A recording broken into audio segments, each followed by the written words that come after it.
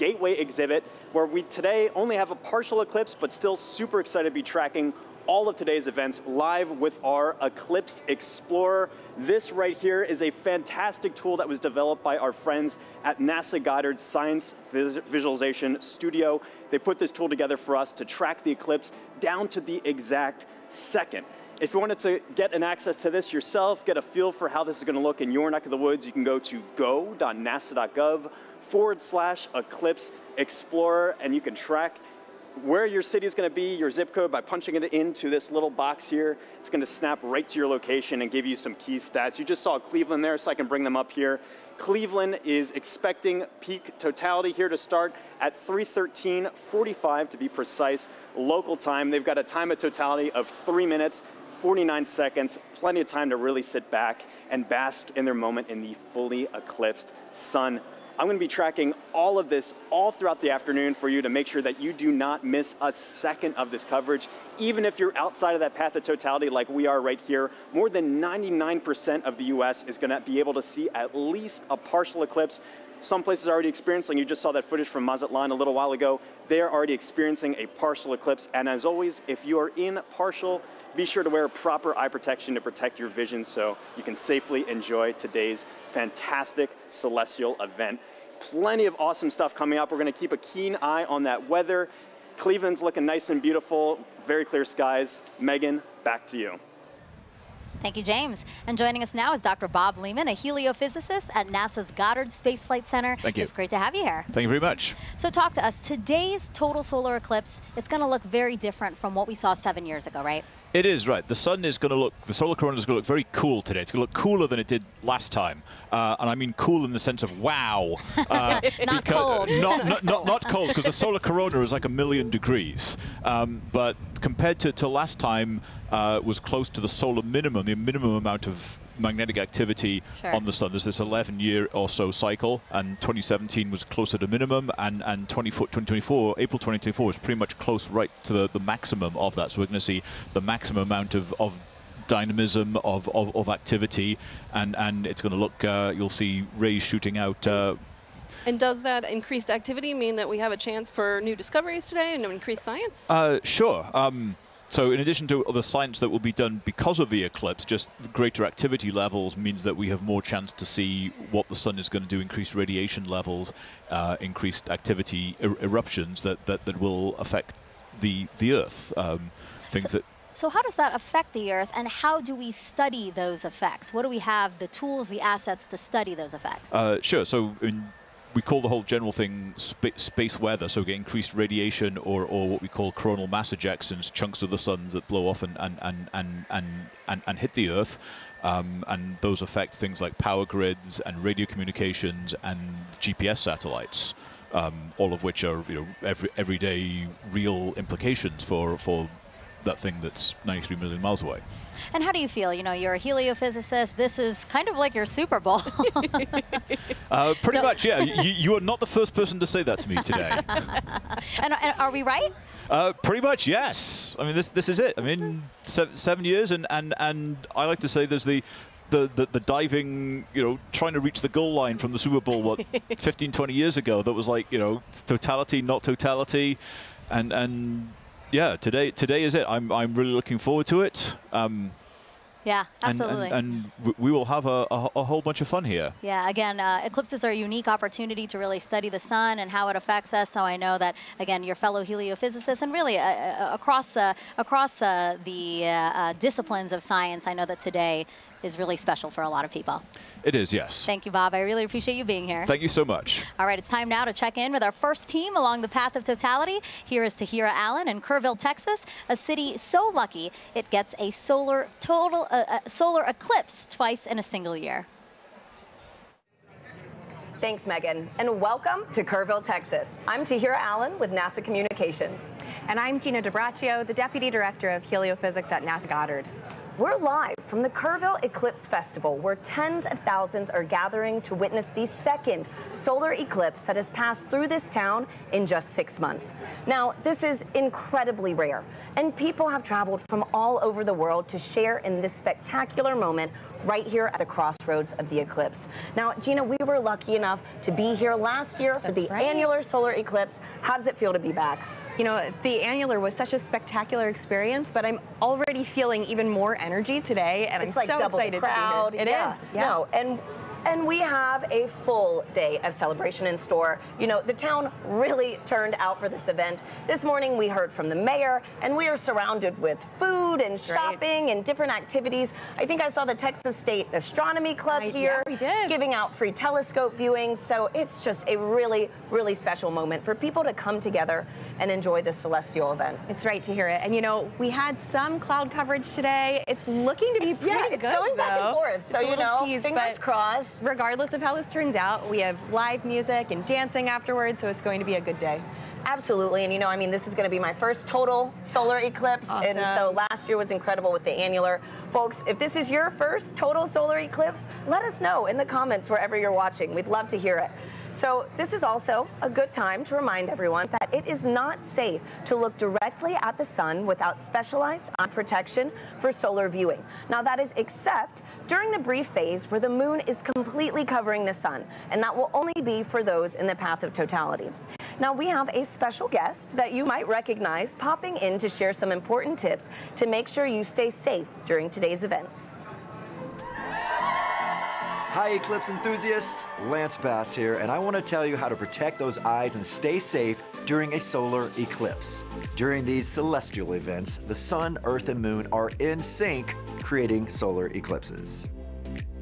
You can look directly at the sun during a total solar eclipse, but only when it's completely covered by the moon for a brief period known as totality. This is a really special moment. At all other times, you should wear eclipse glasses so that you don't say, bye bye bye to your vision. Seriously. And eclipse glasses are not the same as regular sunglasses. No, they're not. Safe solar viewers are thousands of times darker and will have a specific certification that you should look for right here.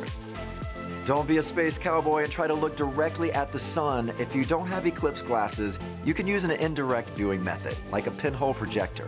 You can make one of these with something as simple as an index card with a hole, or a colander, or even your hands. With the sun at your back, you can safely project an image of the sun through the hole onto a nearby surface like the ground. It's gonna be me who is wearing my eclipse glasses, and so are you. Now, you can't have an eclipse without the sun, the moon, and the earth. And as you heard from Megan and Sarah earlier, we've been hosting a friendly competition right. to see which one of these three teams that you're siding with today. Now, Gina, I feel like it almost goes unsaid here, but I have to ask. Okay. I don't don't want to assume. Which team are you repping today? You probably were going to guess Sun. Oh, Team Sun. Who would have uh, thought? You're right. No. so heliophysics, it's the study of the sun and its influence on everything. And it impacts all of our planets. And today, the solar corona is stealing the spotlight of the show. So Team Sun for me. I guess it, it really is the star of the show today. But you know what, Gina? I think I'm going to have to be a little bit biased too. Okay. So International Observe the Moon Night, which is NASA's annual celebration of all things moon, actually falls on my birthday this year. Okay. So I think I'm having a little bit of a lunar connection. All right, Team But for those watching, if you haven't joined the fun yet, you can vote for your Eclipse team on NASA's Solar System Facebook, X, and Instagram. We're going to be sharing those poll results throughout the show, so be sure to go vote for your team. Now, also during the broadcast, you can send us questions using hashtag Eclipse on social media. We have teams standing by online to answer, and we're going to be taking some of those questions live on today's show. Now, speaking about taking questions live, Gina, we actually yep. had some kids okay. send in videos before today's show. Oh, nice. So let's roll one of those right now. My name is Jonathan. My question is, will NASA do any experiments during the solar eclipse? Thank you. Oh, great question, Jonathan. Now, we have a bunch of different eclipses, uh, experiments that will take place during the eclipse today. So first, we're trying to study the solar corona. So mm -hmm. we mm-hmm. have NASA's WB-57 high-altitude research jet flying across the path of totality, taking pictures of that upper atmosphere of the sun, that corona, so that we can learn its composition, why it gets to be heated to extreme temperatures. But we also care about the eclipse's impact on Earth and the upper atmosphere. Mm. So we're launching three sounding rockets up into the atmosphere before, during, and after peak eclipse so That's that we so can cool. study how the atmosphere is changing as well. So, you know, we're studying it with a plane, we're studying it with rockets. Exactly. Any other way? You know, we have balloons, science balloons that are going up too, and we also have different ways that the public will be able to get involved in some of these experiments too. Thanks, Gina. And I actually have a great follow-up question to this. This is from Lisa on Facebook, okay. who wants to know more about the sounding rockets. So they ask, why is NASA shooting rockets into the moon's shadow during today's events? Okay, let's talk more about the sounding rockets because they are a lot of fun. So the, the first sounding rocket will be 45 minutes before peak eclipse, the next one during that peak eclipse, and the, the final one after, 45 minutes after. And that's because we really want to understand the difference in density and temperature and these different factors in the upper atmosphere and really get a sense of how the atmosphere changes as the eclipse is coming and passes over. So we have all these rockets going up and it'll be a good day for that. Great, and hopefully we'll get to see a replay of that later on in today's show. That's right. Now, folks, it is really special for us to be back here in Kerrville, Texas, covering today's total solar eclipse. Just last October, an annular solar eclipse passed right through this town. Now, for a location to be at the crossroads of these two incredible celestial events is rare. Let's take a look at how the community has been preparing in the lead up to this big day. Kerrville is the eclipse capital of the state of Texas. It is known as being the capital of the Texas Hill Country. It's the epitome of Texas. Ranches, deer, beautiful streams like the Guadalupe here. Kerrville is very welcoming. It's a wonderful community. Tight-knit, small. It has about 25,000 people. Kerrville is blessed to be in that special square, the annular eclipse in 2023 and the total solar eclipse in 2024 we're talking about crossroads, you know, we get it twice. Two. Two eclipses right here, right where I stand. Well, it's statistically extraordinary. We get two in less than six months. Everybody's excited about it. City Council, county commissioners, everybody's working diligently to be able to provide safe opportunity for the influx of people. This will be the biggest event in the history of the city, and that's why the city is preparing. We're preparing to make the event enjoyable for everybody who wants to see this tremendous natural phenomenon. I think that Kerrville has done an awesome job of preparing, you know, way in advance. It's getting that message out to people to make sure that they're taken care of personally, but then there's the science part of it, letting them know what is an eclipse. And I'm just having a great time going out and talking to civic organizations and clubs and to talk about eclipses. So this will be my fourth and fifth solar eclipses. I've seen total eclipse in Nebraska. I drove 1,200 miles for a little over two minutes and it was well worth it. And just couldn't believe the experience of the eclipse. I mean, it still just, it literally gives me goosebumps every time I talk about it. It's a visceral, emotional experience that is just, you have to, you have to experience it to understand. I thought I knew what it would be like but I gasped at the sheer wonder. It's going to be a, you're going to hear that intake of air and awe. It was the most beautiful natural thing I've ever seen. So to have an eclipse basically in my backyard is just, I, it's indescribable.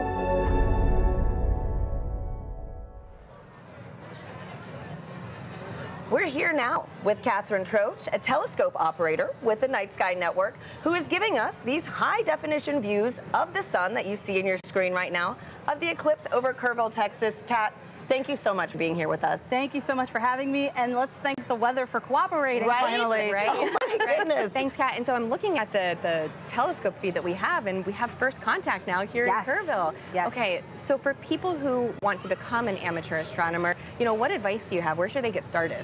The easiest way to get started is to look up Night Sky Network. Night Sky Network has over 400 astronomy clubs in the United States. You would just use our search function to plug in your city and find the club that's closest to you. And if you don't have a club that's close to you, you can use our coordinator tips to start your own astronomy club. Wow, that okay. is awesome. And you know what? For folks, if you want some more details on night, uh, the night the Night Sky Network and other things on how to become an amateur astronomer, you can visit go.nasa.gov slash Night Sky Network. Now, a fun fact about today's broadcast that I absolutely loved learning was that so many of our telescope views that you're going to be seeing today are from amateur, amateur astronomers. And so, Kat, again, on this topic of, you know, sky gazing, I heard that those in the path of totality might be able to witness more than just a total solar eclipse today. Could yes. you give us a sneak peek on what we could expect? Absolutely. So if we have clear skies in the path of totality, as it gets darker, you'll start to see two bright points of light. That would be Jupiter and Venus. Mm -hmm. And then as we get to totality, at totality, you'll be able to see the fainter planets, Saturn, Mercury, and Mars. Oh. And if you're lucky, you'll be able to catch Comet 12P. Oh, what wow. a crazy, like, cosmic alignment awesome. today, you know? so, man. Great. So, for the amateur astronomers that actually want to view today's celestial event, what tips do you have for them? So, of course, you need to have solar protection. You need to have solar safe glasses. Um, and you need to have solar filters for your telescopes, your binoculars, your cameras. But you can also use indirect viewing like a pinhole projector box, or you can use a disco ball. a disco ball? yes. Wait, how does this work? Can you like walk sure. us through this? So as the sun hits the mirrors and it'll cast a little reflection onto the onto the surface here, okay. you'll see little crescent shapes oh, as the eclipse progresses. That is incredible. We need to keep that disco ball. Oh yeah, right? No, seriously. So Gina, didn't you say you could also use your hands? That's right. Point? You know, you can take your fingers and yes. weave them together to let the light project through, so that you can see the projection of the the eclipse on the ground. Absolutely. There. That's fantastic. So a lot of different ways to be able to view today's there, event. There's no one wrong way to do it, unless yes, you're just to do it. That. Yeah, yeah, just do it. Yeah. Just make sure you do it safely. Uh, yeah. and so, Kat, too. You know, earlier we you gave me a little reveal of your shirt. It is too perfect for today's show you know, could you could you give our give our viewers sure, a little taste? No problem. So if, if you know, you know. If you know, you know. Totality going on at the moment. Love it. Thank you so much for being here, Kat. Thank Thanks, you again Kat. for having me. Absolutely. And so now coming up soon, we're going to get our first views of the total solar eclipse as it begins in Mexico, sweeping across North America. We have correspondents all along this path who are going to bring you live into the action as it happens. First up, let's check in with Joy Ng in Dallas, Texas. Thanks Tahira and Gina. So, welcome to the Dallas Arboretum and Botanical Garden. I'm Joy Ng, and as you can see behind me, we have a lot of people eagerly waiting for the total solar eclipse. It's so amazing to hear so many people talk about the sun and the moon. And what makes this day even special is that the eclipse gives scientists a really unique chance to do science. So, to tell me more, I'm here with NASA scientist Dr. Ashley Greeley. Thank you so much for joining us. Hi, Joy. Thanks for having me. so, firstly, how are you feeling about today? I'm feeling really excited excited. The skies are starting to clear out, and it looks like we might get a pretty good show. Fingers crossed. so, earlier in the show, we learned that today's eclipse will look quite different from the 2017 eclipse. Mm. We're going to see more structures in the sun's outer atmosphere. So, Ashley, can you tell me why is that different? Why is the sun going to look different, and why is it changing?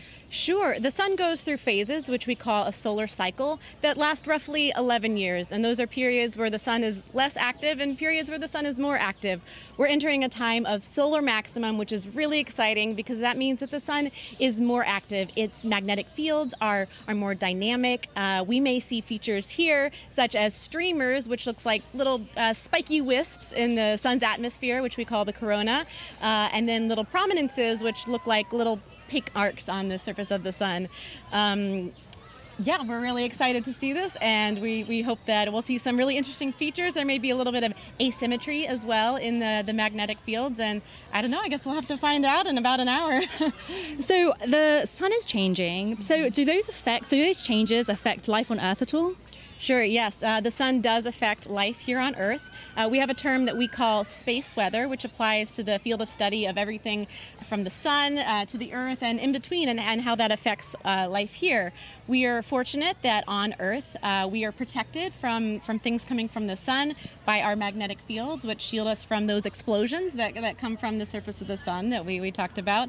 Um, those can result in really fun occurrences, such as the aurora. Uh, there can be some negative side effects, but those are mostly limited to things that are outside our magnetic fields. Uh, the, the storms from the sun can interfere with satellites, and it's something we really have to think about as scientists as we, we start to plan for putting humans on the surface of the moon or potentially sending them to Mars. Uh, those energetic particles that result from the sun uh, can impact humans, so that's just something that we have to, to learn about and take into account. So the sun is always there, of course, but why are eclipses a good time to study these effects called space weather? Yeah, eclipses are a really cool time uh, for scientists to be able to study the sun. It's actually it's really hard to completely cover the disk of the sun in order to study the the sun's atmosphere, especially that inner part of the atmosphere. Uh, we're really fortunate that here on Earth, our moon is just the right size and just the right distance from Earth that it can completely block out uh, the sun's disk during total solar eclipses. Uh, so we're really able to observe that inner atmosphere in a way that we, we can't normally. So this event is really exciting exciting for, for both scientists and the public alike, and that's just such a, a cool experience to share together. Thank you so much, Ashley. So, if you're lucky enough to be in the path of totality, keep an eye out for that sun's outer atmosphere, the corona, and keep, and you'll know that you see these spiky features, and it's because the sun is heading towards its most active phase. So, for now, let's head to our friends in Russellville, Arkansas. Jasmine, how are things looking on your side? Joy, things are looking absolutely fabulous in a very sunny downtown Russellville, Arkansas. As she said, I'm NASA's Jasmine Hopkins, and I'm coming to you live from the Depot District, where the city is throwing a massive block party, all in celebration of the total solar eclipse. Now, people in Arkansas have great reason to celebrate because this is only the second total solar eclipse visible from the state since it was first established in 1836. And the next one visible from here won't happen for another two decades. So people around me are gearing up for what feels like a once in a lifetime opportunity. Now, it's not just the residents of Russellville that are excited. On average, the city has about 29,000 residents, but for the past eight months, they've been preparing to receive upwards of 100,000 tourists right here in the city. Now, of course, NASA has been a big part of that preparation. So to show you what we've been doing to help, I have a video here to show you. So we have been talking to the next generation of space explorers right here in Arkansas. We started off at Arkansas Technical University, and then we moved on to Russellville City Schools, where we spoke to hundreds of students, all the way from 8th grade to 12th grade, about this total solar eclipse. We had NASA's Marshall Space Flight Center, the Arkansas Air National Guard, the U.S. Space and Rocket Center, and even the Paris Observatory joining us all the way from France. Now, during that moment of totality, Arkansas will experience from 94 to 100% obscurity from the sun, and we'll have 4 minutes and 12 seconds to really soak in that fantastic cosmic event. Now, until that moment, of course, we are telling the residents to stay safe, uh, keep those solar eclipse glasses on, but now let's go from Arkansas to Illinois with Blair Allen. How are things looking for you? Jasmine, we're super excited here because crowds are filing into the stadium, but the main story here is the weather. Everything looks absolutely good and clear for totality today. We're very excited. We're just hoping, just like 2017, a, little cloud doesn't come in and obscure things. But I tell you what, there's been a total solar eclipse here in 2017.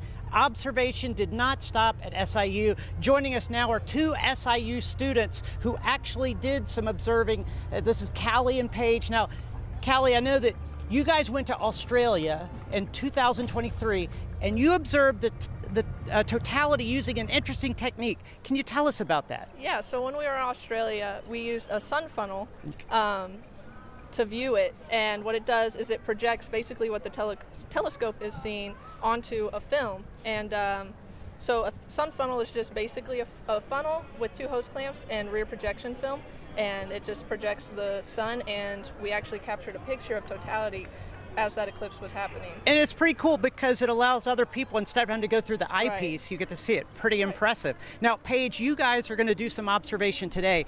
What are you set up for here in Carbondale today? Yes, so we have two telescopes set up with the sun funnels for viewing for a select view of the public. And right now we're pointed at the sun and we're excited to see totality. Now, what are your odds on good weather? Uh, it's looking pretty good. I'm excited. Isn't that great? I'm so excited. I tell you what, one final question because I know you're experts with uh, solar safety, but uh, Team Earth, Sun, or Moon? We're both Team, Moon. Team Moon, Team Sun. I tell you, that's the best you're going to get, but we're all pro eclipse. Uh, back to you, Tahira. Let's go Team Moon. So, as you can see, folks, we've got a lot of exciting things in store all across this country, and that was only half of it. You're going to meet three, mo- three more of our locations later on in the show. Now, Gina, we've got a ton of questions coming in online right now from our viewers. Yep. How do you feel about some Q&A? Let's answer some. Okay, perfect. Let's do it. So, our next our first question is from Fair Cerritos on Instagram, who wants to know, how can I help NASA? You can help NASA by participating in the eclipse. If you can see it today, go outside, enjoy the moment, or download the Globe Observer app. You can do that right now before the eclipse crosses your path. You need a thermometer, and you just record the local temperatures and the cloud coverage. Fantastic. Globe Observer app. So thank you so much, Gina, and Thank thank, you. you. to everybody sending in those questions. We'll take some more later on throughout the show. For now, let's check back in with Megan and Sarah in Cleveland, who are standing by with an out of this world surprise. yes, quite literally that, Tahira, because we have a special treat for our viewers right now, joining us live in space. 250 miles above the Earth in the International Space Station. Everyone, please help us welcome NASA astronauts Jeanette Epps and Mike Barratt. Sarah, you've been waiting. Oh, I'm so excited. For Oh, this. there they Hello, everyone. Oh, Jeanette, Mike, thank you for joining us. Uh, it's a pleasure to join you guys, and uh, I, I hope everybody appreciates NASA scheduling this uh, eclipse to uh, bring the world together. Yes, thank you so much to NASA, and thank you so be- much for joining us. Now, you guys will have three opportunities to view the moon's shadow over North America, and that last pass will give you guys the best views. And we hope to also share those live views with everyone here on this broadcast around 3:30 p.m. Eastern Time. Now, Jeanette, I have two questions for you. Are you looking forward to being one of the few people seeing today's total solar eclipse from space? And two, I know your crew member Matt Dominick will use a camera with a solar filter to photograph the sun being eclipsed by the moon. Will you also be taking photos of the celestial alignment?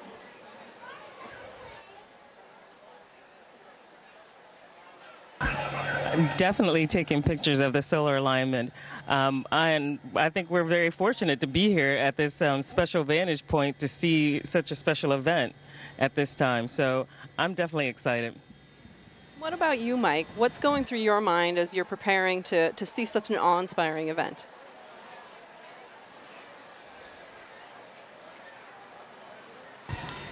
Well, admittedly, I'm a bit of an eclipse junkie. Uh, you know, I, my first one was uh, like when I was 19 with the homemade telescope in the desert, and uh, uh, a few since then. And actually, during the 2017 eclipse, I was on a chartered aircraft uh, several hundred miles off the coast of Oregon watching it. And uh, I got a strange bucket list, and this is one of the things that's on it to actually watch a, an eclipse shadow cross the Earth from space. So I'm ecstatic to see this box gets checked and, and just to, to see this amazing thing from up here.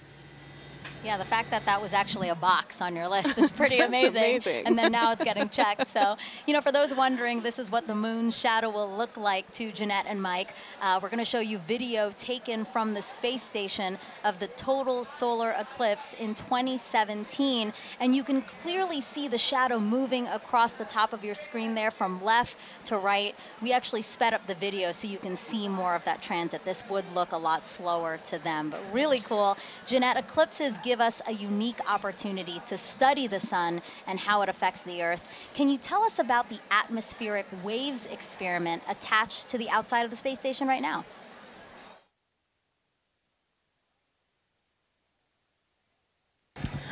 Sure. Um, we have an atmospheric wave experiment that's going on now, and what it looks at are these atmospheric grav- gravity waves. And these waves transport energy and momentum up through the climate system.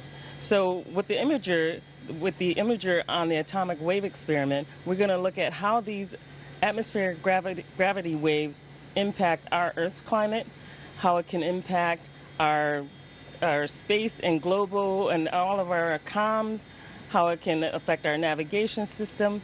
And so over the next two years, researchers will use a, an infrared imager to look at the global distribution of these waves as well as their characteristics.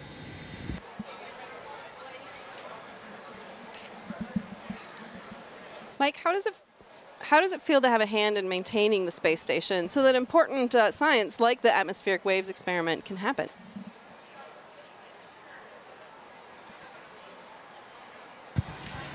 Well, of course, uh, the main reason we're up here is actually to conduct that science. we maintain the station to uh, to keep this platform what it should be, what it was built to be, which is a vibrant uh, laboratory, uh, which covers so many different disciplines on the inside and the outside, like the gravity waves experiment. I mean, it's a, it's an honor and a privilege, as much as anything, to have a hand in that science, and we end up being basically the eyes, the hands, the on-site presence to conduct that science and we get to be the first to see results of just amazing things that are years in the making by a bunch of really smart, ambitious uh, scientific teams on the ground. So that's really where the joy is. Uh, maintaining the station is just like maintaining a research ship. Uh, something I actually uh, quite like, uh, so I feel very much at home in that uh, in that role. It's still blowing my mind. I mean, we're here in Cleveland, Ohio, live. You guys are up in space in the International Space Station. I can't believe the opportunity that uh, has been afforded to us, and I hope our viewers really enjoyed uh, this time with you. And I hope you enjoy the show from up there.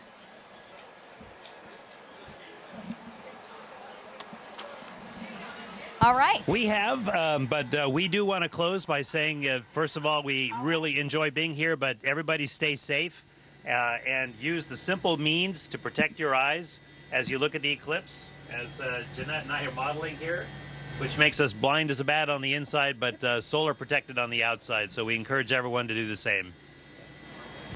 Really great advice from yes. both of them. Thank you so Thank you much. Sarah and I have our glasses, right. and we're we ready, ready, to go. Too. Also blind if we don't do this. All right, again, Jeanette, Mike, thank you so much. And we actually have some time to take questions from the audience. We have hashtag Eclipse. That's how you can send questions to us. So let us take a video from another curious kid Excellent. we have watching. Hi, my name is Adrian. My question is, why will we not see a total eclipse in California? Thank you. That's a great question, Adrian. So we only a precious few today are going to get to see a total eclipse because the moon is so much smaller than the Earth. It only casts a very narrow shadow. But still, even in California, you're going to get to see a partial eclipse, and that is still a really cool event. So I do encourage you to get out there uh, and see it for yourself today. Yeah, absolutely. So again, hashtag eclipse. Wherever you're watching us, drop that in the comments, and we'll try to get to as many questions as we can on the show. Okay, so we have obviously people celebrating with us online uh, and at events across the country. So why don't we check out some of those events again now? Waco, Texas again. People look very, very comfortable in their camping chairs and spread out on picnic blankets. Yeah, huh? look like they're having a good time. Yeah. A few clouds. A few clouds, but again, they have some time there before. Kennedy Space Center, they will see a partial eclipse. We have some people walking around the Rocket Garden. Oh, it looks like they have beautiful weather there. California Academy of Sciences, yes, they do. They have clear skies. We're very, very jealous over here. And then the Mentor Civic Amphitheater that's starting to... Starting to fill up. Exactly. There were fewer people when we checked in ago, but now lots of people there and lots of people at the Adirondack Sky Center. I wish I could wave and say hello. they look like they're getting they're getting ready for some stuff though. Yeah, absolutely. Again, the snow cleared out because yeah. there was snow over the weekend, but now it looks like a beautiful, probably still crisp day there for them. Okay, and now we're back here with astronaut Steve Bowen, who's looking around, taking in the sights, Steve. I am. I see. It's just an amazing amount of people. It's really cool to see. Yeah, absolutely. Really, you can yeah. feel the energy. And it's, it's really cool that you're here. So Steve is here because, you know, obviously, as we've been saying throughout the show, you really should have these glasses to safely view the eclipse. But if you don't have glasses, that's why Steve is here. So Steve, I see that you brought some supplies for us. I did. I have a little bit for everybody, and we'll see how we can do here today. All right. So this is like a pinhole viewer, and so it's a basically a pinhole camera. I don't know if you ever had to do that when you were a kid. Is make a little camera by basically poking a hole in a piece of paper. Okay.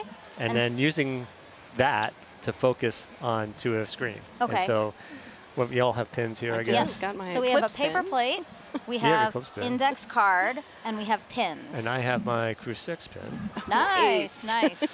All right, so what do we do, Steve? Basically, all you have to do is poke a hole in the in the cardboard, Okay. and the size of the hole will determine the focal length, the focal distance of your viewer.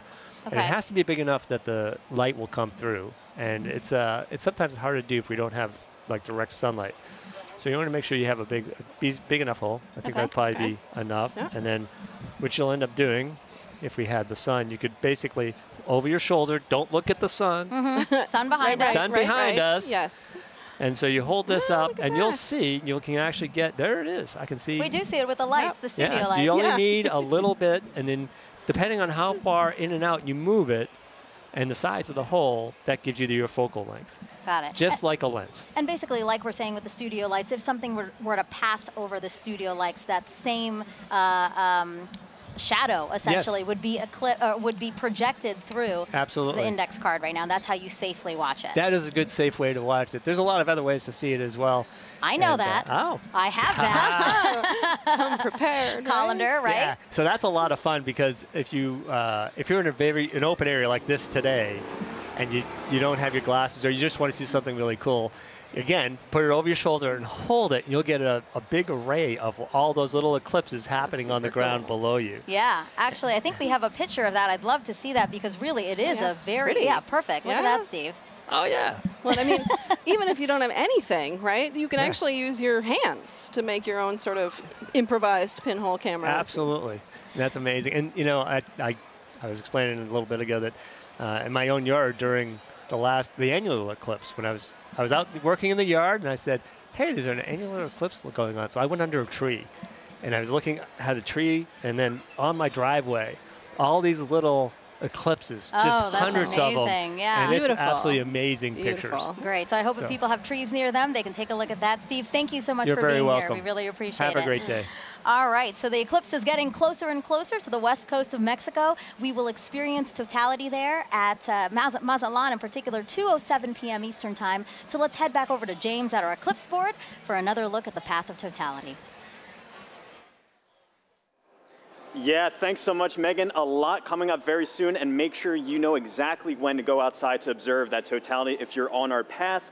Or even right now, if you're experiencing a partial eclipse, I've got in our Eclipse Explorer here, I can zoom out just a hair here to show you this. I've got our penumbra on, so this is all the places inside here already experiencing a partial eclipse. You've been seeing some great feeds from our camera in Mazatlan, Mexico. They've been experiencing that kind of crescent sun for a little while now. They're just about 20 minutes out from actually experiencing totality itself. They're going to have a long window where they are 4 minutes and 17 seconds. For some context, back in 2017, the last eclipse that swept across America, the longest time was only around 2 minutes and 40 seconds. That was in Carbondale. This time around, some very long times, just a little bit northwest of Torreon, Mexico. They're going to get upwards of four and a half minutes. A lot of time to really observe it, but just make sure that you know when to be outside. And as always, access that tool at go.nasa.gov forward slash eclipse explorer. This is going to keep moving on. You see this little thing. I have this actually running in real time. This is our shadow of totality. This is going to continue to move further and further to the northeast and actually make landfall in just a few moments in Mazatlan, Mexico. As you've seen all throughout the broadcast, we've got correspondents all up and down the U.S., all the way up to Maine, covering this live. Very excited to continue tracking this. Make sure you know what's going on here. But for now, back to you, Megan. All right, thank you, James. So now let's introduce you to more of our correspondents along the path, starting first with NASA's Lauren Ward, standing by to show us what's happening in Indianapolis, Indiana. That's right. Thanks, Megan. We are at the Indianapolis Motor Speedway in Indianapolis, Indiana. It is a gorgeous day. Behind me, I have over 50,000 people here to spectate today. Today, we are waiting for a spectacle that is of a celestial kind. Of course, this is most known for the Indy 500, but we are waiting for something a little bit special today. With me, I have the 2016 Indianapolis Motor Speedway winner, Alexander Rossi. Good to see you. Good to see you. Thank you so much for having me. It's great to have you. So the Helio Big Year is a celebration of sun science and how the sun touches everything, including IMS. So tell me, Uh, the track, when you're doing a qualifying round, is about four minutes long, which coincidentally is the length of totality. So tell us, what is it like being on the track? You know what? The uh, the sun plays a huge role in determining the performance of the car um, based on the track conditions. So we actually, when it's a day like this, as much as it's beautiful for the fans, it's actually very difficult for us as drivers because as the surface heats up, the oils come to the top of the asphalt and it actually becomes slippier. So that's surprising to people. They think that temperature would mean grip, but it, it is until a certain point. And then once it kind of crosses over 100 degrees on the surface, you start to actually go the other way. Wow. And tell me about those tires. How does the sun affect those? So when they're so we use slick tires. So Firestone tires are slick. Um, on a road car, you have tread, right? Because they're supposed to be used in all conditions. Slick tires actually have a bigger contact patch, more surface area, so they generate more grip at a temperature, right? So they operate between 180 to 230 degrees Fahrenheit.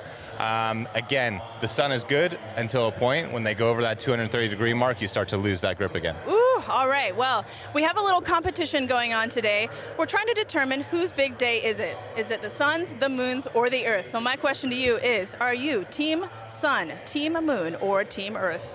That's a that's a hard one, but I'm gonna go Team Earth. You know, I just think we're so lucky, especially today with the people that are around us here to be able to witness what we're about to see. Um, go Earth. Go Earth. You heard it here first. All right, guys. Thanks. We'll be back here. Derrol in Niagara, over to you. All right, thank you very much, Lauren. Just 500 miles northeast of you. We are here at Niagara Falls, right next to the Niagara River. This is a special location for a lot of people because it is a once in a lifetime opportunity to see a natural wonder set against a celestial one, the solar eclipse. And so let's talk first of all about the natural wonder. And it all starts right here. Look at this massive river and the amount of water that's moving through here. A half million gallons of water, half million bathtubs actually going over the falls at every 60 seconds. It's tremendous the flow here. It interacts with the air, it hits the rocks, and it also, you know, it flows up a mist column that is omnipresent. This is always here. So one of the things that eclipse watchers want to see is how does it interact with the light? Will we have a pink rainbow because only prominences from the sun will be seen and they're pink? We'll have to see about that. One thing we do need is a little bit better cloud uh, clearing around here because we do have some cloud cover. But that's okay. People who have gathered here are excited and they're hopeful that it will clear. Who's here? Well, I want to show you our camera from about 500 feet away. Look at all my friendly eclipse watchers. Are you guys ready for an eclipse? Yeah! Well, I love the energy. We, we could use this energy to blow the clouds out of here. As our camera backs out, you're looking at Terrapin Point, and this is the lawn here. It's roughly the size of a football field, and everybody who's here, a lot of people came in at 6 a.m. this morning. They currently cut off the park from anybody from coming further into Goat Island here. So this is the max capacity that we're at right now. It's that popular. Over to the other side, our friends from Canada. Look across the river gorge, about a thousand feet away. Niagara Parkway is lined with people. So it's beautiful shot over there, and we really appreciate our Canadian friends who have joined us. Now, this isn't just about the solar eclipse. We've been here for the past week, and we were at locations all across Niagara Falls, 12 to be exact. Take a look at this video. Crowds of people packed the Niagara State Park Welcome Center where Commander Moonikin Campos, the mannequin who flew around the moon during the Artemis 1 test flight in 2022, was on display. Our partners at the Canadian Space Agency sent kids virtually to space all week long. And NASA experts from the Kennedy Space Center gave presentations and talks at places like the Niagara Aerospace Museum and libraries across the area. The outreach was a huge success with thousands of people participating in the events and passing through our exhibits. And we just want to thank everyone who came out to see us at all our locations, and we hope you left a little inspired about space exploration and a little wiser about all NASA's missions. Okay, coming up, we've got a very special guest for you who's going to share the eclipse with us.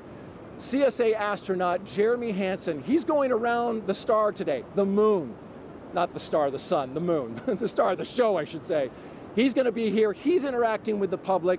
We're going to get his thoughts on totality along with everybody else who is here. And we're pumped and excited. Right, everybody? We ready for the Eclipse? You can hear the excitement. All right, now I'm going to send it 800 miles to the northeast to my colleague Angelique Herring, who is in Houlton, Maine, where I hear you have some pretty good weather. Hello, Derrol, and welcome everybody to Maine. That's right, we do have some great weather. We are here in Maine, and actually, we're about three miles away from the Canadian border and also about the last stop on I 95 North. So, we're the northmost spot for today's Eclipse broadcast, at least in the United States.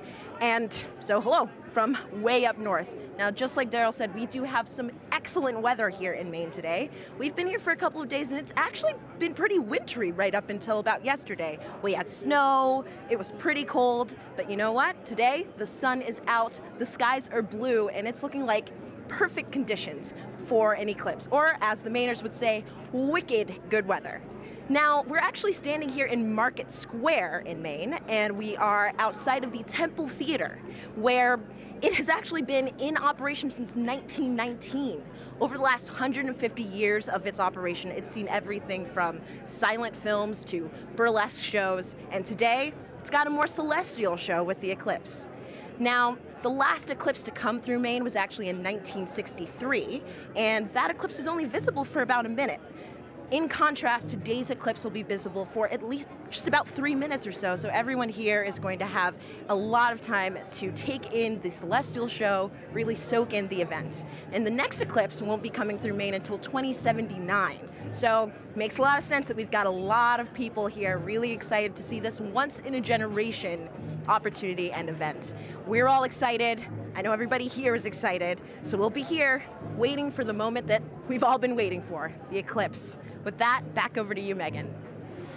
Hey, thank you everyone. It was really cool to see everyone along the path of totality. You can tell we're covering a large swath of land because everybody's in different kind of attire. yes. You know, you have short sleeve shirts somewhere, and then you have like Derrol, who's who it looks very, very cold, and he does have some cloud cover. So I hope that it does kind of clear out for him. Figure, I feel like we've covered all of those levels of weather over the last day and a that's half. That's true here in Cleveland. in Cleveland. So, but it's looking nice now, so that's great. And actually, if you uh, were watching our screen here, we just had uh, a view of the uh, eclipse in uh, Mazatlan Mexico. In about 10 minutes, that's when we'll start seeing totality in that area. And in that time, the U.S.'s top doctor is encouraging everyone to try and watch the celestial event for our physical and mental well-being. Hi, everyone. I'm U.S. Surgeon General Dr. Vivek Murthy. I'm thrilled to be joining you today as you gather to experience a truly awe-inspiring event, the last chance that we'll have to see a total solar eclipse in the contiguous United States for the next 20 years. The sun is a universal source of light and life. It contributes to our physical, mental, and emotional well being, and it unites all of us. Today, no matter where you're watching from, whether it's along the path of totality or a partial solar eclipse, you are sharing the experience with millions across the nation. And moments of connectedness like this truly matter. Last year, I issued a Surgeon General's advisory warning about the public health crisis posed by loneliness and isolation. I shared that our connection with one another is a powerful force that can help protect against the damaging physical and mental health impacts of loneliness. What better reason is there to come together with friends and loved ones than to share a once in a generation experience like the solar eclipse? This is an experience that will stay with you precisely because of the awe that it inspires. Awe allows us to step outside of ourselves, giving us fresh perspective and opening us up to connections. So grab your eclipse glasses and let's enjoy this moment together. Some great advice. Thank you so much. All right, we have time for other hashtag eclipse questions. Sarah, are you ready? I am absolutely ready. All right, let's take a look at this video from a familiar face.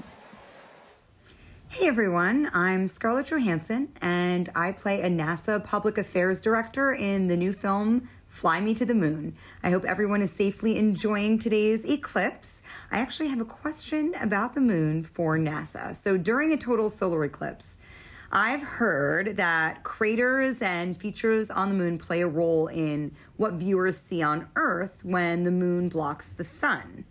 So why is that? Question, Scarlett. So yeah, as we, you know, the moon isn't isn't a smooth marble. It actually has big, high mountains and, and valleys, these craters. And as we approach totality, sometimes you'll hear pe- people talk about Baily's beads, and these are the last few moments of sun creeping through those those deep valleys. Yeah. Uh, just before we hit totality. Yeah. Absolutely. Thank you so much. It's so great to have you here to answer some of these questions, and we plan to take more. If you send them in, hashtag Eclipse again. Okay, if you're just joining us, I'm NASA's Megan Cruz, and this is NASA lunar scientist Sarah Noble. And as you can see, you are watching the official NASA broadcast for today's total solar eclipse. And we are in the heart of downtown Cleveland, where NASA is celebrating this celestial alignment. Take a look at our shot from the air. That is how many people who are just here at the Great Lakes Science Center alone. So many more spread out throughout Cleveland because, again, the last time this city had a total solar eclipse was 1806. But again, just down the road, we have the only NASA center in the path of totality.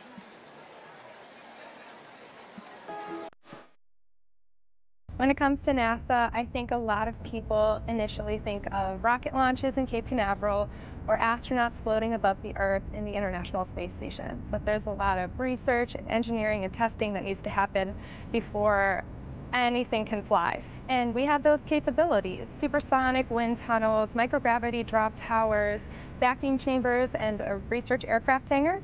And that's why people from all over the world come to NASA's Glenn Research Center right here in Cleveland, Ohio. What we work on, power, propulsion, communications, you need it for anything that flies. We like to say the road to the moon goes through Ohio, and that's because our test facilities are crucial to advancing the Artemis program. Part of our vision for going back to the moon and establishing a sustainable presence is having a lunar gateway. A lunar space station can fly successfully around the moon and sustain astronauts there. And we are leading the program that's developing the power and propulsion element. NASA's Neil Armstrong Test Facility in Sandusky, Ohio. It's the only place in the world where you can test a full-size spacecraft for all the extreme conditions of launch and spaceflight. Right now, we have the Orion spacecraft. This is a spacecraft that actually went around the moon, but we're using it as a test article now to make sure that in the launch environment, that spacecraft is safe. When it comes to aviation, uh, every U.S. plane has NASA Glenn technology on board, which makes your flight cleaner, safer, and quieter. And looking at solutions like electric and hybrid electric propulsion systems that will reduce or give us different ways of converting energy that are cleaner. Our center partners with a lot of community organizations to share NASA's discoveries or just get kids excited about science, engineering, technology, and math. I really enjoyed the VR experience. It was really cool to be able to sit like I was an actual pilot flying. I feel like I could potentially look into considering aerospace. We've also made it our mission to prepare Cleveland for the April 8th total solar eclipse. We demonstrated different types of hands-on activities for educators to share with their students, as well as the science behind a total solar eclipse. My favorite thing about Glenn is our people. Not only are they crazy smart, but they are genuinely good people. And we are literally part of almost everything NASA does. And so what's really great about being here is you're in the heart of it all. And joining us live is now NASA Administrator Bill Nelson. So great to have you here for this celestial event. Thumbs up. Thumbs Thank up from the administrator. now, administrator, why are solar eclipses so uh, unique, such a unique opportunity to study our sun? because you have the alignment of three celestial bodies. And uh, unique things happen when that occurs.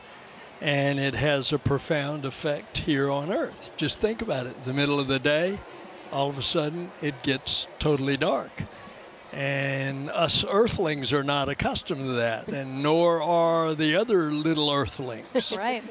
all the animals. Uh, but it's also an opportunity for us to study much more one of those celestial bodies, and that's our star, our sun, and our star in our solar system. And we can find out more about that gaseous explosion that's coming out from the core of the sun when we can see it better. And we can see it better because we're not looking at the bright ball, you're suddenly looking at that corona, that mass of gases that are coming out from the edge of the sun. Right. And you don't have to be a scientist, right, to, to, help, to study this event, right? And you, we, how do we get help from people across the country to help us study these things? Well, by asking them. Make a note of anything that you observe and then share that with us. All right, an administrator, you know, we have to take precautions when viewing a solar eclipse. Remind everyone what should we should be doing today. Okay, you've got some glasses. That's right. That's Um, right. The glasses We're are all, all absolutely essential. Uh, you want to put these on as it is starting to have that moon move in front of the sun. And uh, we don't want you to damage your eyes. Right. Yep. And uh, it's incredible. You put these glasses on in the normal sun of the day, you can't see a thing. Can't see a thing. But when you Yes. look at the sun, you will be protected. Administrator, thank you so much. We really appreciate your time here. And now we're going to head it back over to James at the Eclipse board. Whew, yeah, the countdown is on. Just a few moments left until the eclipse makes landfall in Mazatlan, Mexico. Right here, you can see where that eclipse totality shadow is right here. It's going to continue moving very rapidly onwards to Torreon, where we also have a live feed covering all of this event. Super excited for that big moment. And let me actually just go to our moon board here, and we can play through this at 60 times speed. I'll zoom in a little bit here. And Scarlett Johansson had a question a bit earlier about the kind of rippling effect that we see of the eclipse shadow. When you first see this right here, at first glance, you might think it's low resolution or we're lacking some kind of information here. The inverse is actually true. This is actually incredibly high resolution, this shadow projection that we have, because of data that we've been gathering at our moon for more than 10 years, thanks to an orbiter called the Lunar Reconnaissance Orbiter. It's been mapping our nearest neighbor in incredible resolution, just really getting every single bit of valley or crater or mountain. All of those little imperfections on the moon are contributing to that shadow that we see rippling across the country. You're not going to be able to see that from the ground, but looking from space, you see that really cool effect of kind of the rippling there here. So let's just preview some things to come here. Mazatlan, they have that last little crescent sliver of sun. For now, if you're in that area, make sure you keep your glasses on until that sun is completely blocked out by the moon. That's going to be in just a few moments. You're going to have a long duration there, 4 minutes and 17 seconds. That sounds like a lot of time, but it's going to move like that. So make sure you are ready on the pulse. Again, for all of our locations up on this path of totality here too, make sure you set a timer on your watch or a phone or something to remind yourself to look outside and experience this. You don't want to miss this. If you do miss it, you got a long time to wait for the next big one across America. That's going to be in 2045. So make sure you're watching and watching safely here. You just saw some footage from Kerrville and Cleveland as well. It's a little bit cloudy in some places, really hoping that that clears out in time for us to have that beautiful view. But in just a few moments right here, this eclipse is going to be coming up in Mazatlan, Mexico. So for now, this is going to be really exciting. The countdown is on. So for Mazatlan, this is the last little bit here. Again, I'm always keeping an eye on that weather. And also, one little note about our tool here, too. If you wanted to see, this little icon kind of previews what the uh, expected uh, eclipse is going to look like at that given time. All these little googly eye features are clickable, hyperlinkable. You can kind of click on that. It'll snap you right to that exact time to get an idea for what it's going to look like in your neck of the woods. But for now, the big moment's coming up. Back to you, Megan. Let's check it out.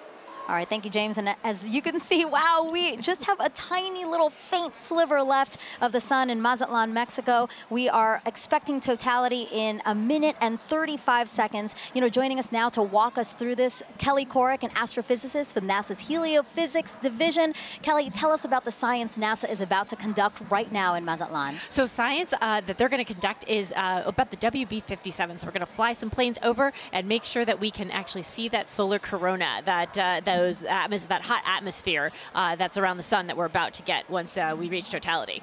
Yeah, and it looks like uh, it's al- Almost there. Yes, it's almost there. Uh, you know, we have a view right now of inside the cockpit of one of the WB-57s, or at least we're efforting one because, as you said, this is going to be a huge part of what we do in Mazatlan. Definitely, yeah. It's the. Uh, Oh, it's- there it is, Oh, Kelly, there it there is. it is. Oh, look at that view. So we're looking Oh, out. that's great. We're looking out, and it looks like we might be able to. We're seeing a lot of clouds, but hopefully a shadow as well as we're coming in to totality there.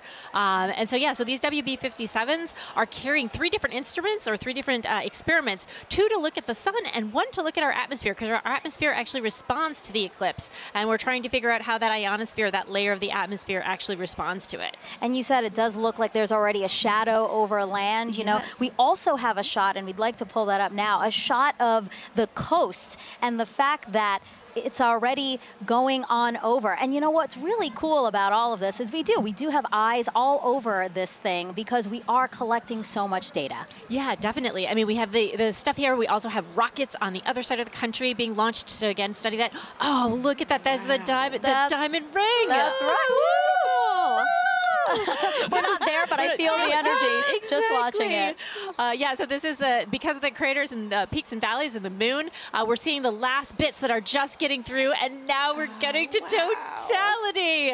Uh, this is great. So you're starting to see those pink fingers um, out there, kind of sticking out. Wow. So again, totality here in Mazatlan, Mexico, the first community in North America to experience the moon completely eclipsing the sun. And if you are in Mazatlan right now, it is now safe to remove your eclipse glasses for the next four minutes. And you mentioned some of those pink filaments that we're seeing, right? Can you talk us a little bit through that, Kelly? Yeah. So those pink filaments, um, they're, because they're helium rich, that's why they're they're appearing pink and they're they're hanging out there. Those could be the start of space weather. So there are uh, lots of tons of material, billions of tons of material that could possibly be one of those explosions for space weather. The reasons why we really study the sun and try to understand how to live with the sun. Hmm. Well, you can know, you explain why space weather is important to us here on Earth? Definitely. So it's not just satellites that need that uh, are are interested in space weather. It's also our power grids because of those energetic particles coming from those those uh, big explosions that can happen in the sun. Um, that could damage our power grids. It could uh, also uh, do things like interfere with GPS signals. And I know we all use our phones to navigate everywhere. Um, so if we didn't have that, that would be a big uh, big problem. So we're uh, looking to understand it better so we can all mitigate all those things. Some of the movement we're seeing here is just our telescope operator adjusting because again they needed to make some changes for before totality. Now they're viewing it a different way and then after totality we might see some shakes there as well. But I really just cannot believe how how crisp it is. As we said, it's not a marble, but I mean just the view of it is so crisp with these little, uh, again, those filaments are just amazing that we can see that to, to such accuracy, you know? Right, definitely. And also the the white fuzz. I mean, that's, you're seeing something that's a million degrees just wow. hanging. Out all around the sun. And you know, three uh, what is it? Three million Earths can fit inside of there. So there's a lot of there's a lot of atmosphere there, um, all around there, just hanging out, uh, being very warm. And so, you know, one of our mysteries is, and one of the the B57s are addressing. There um, you go, oh, WB57, oh, our pilot. Yeah.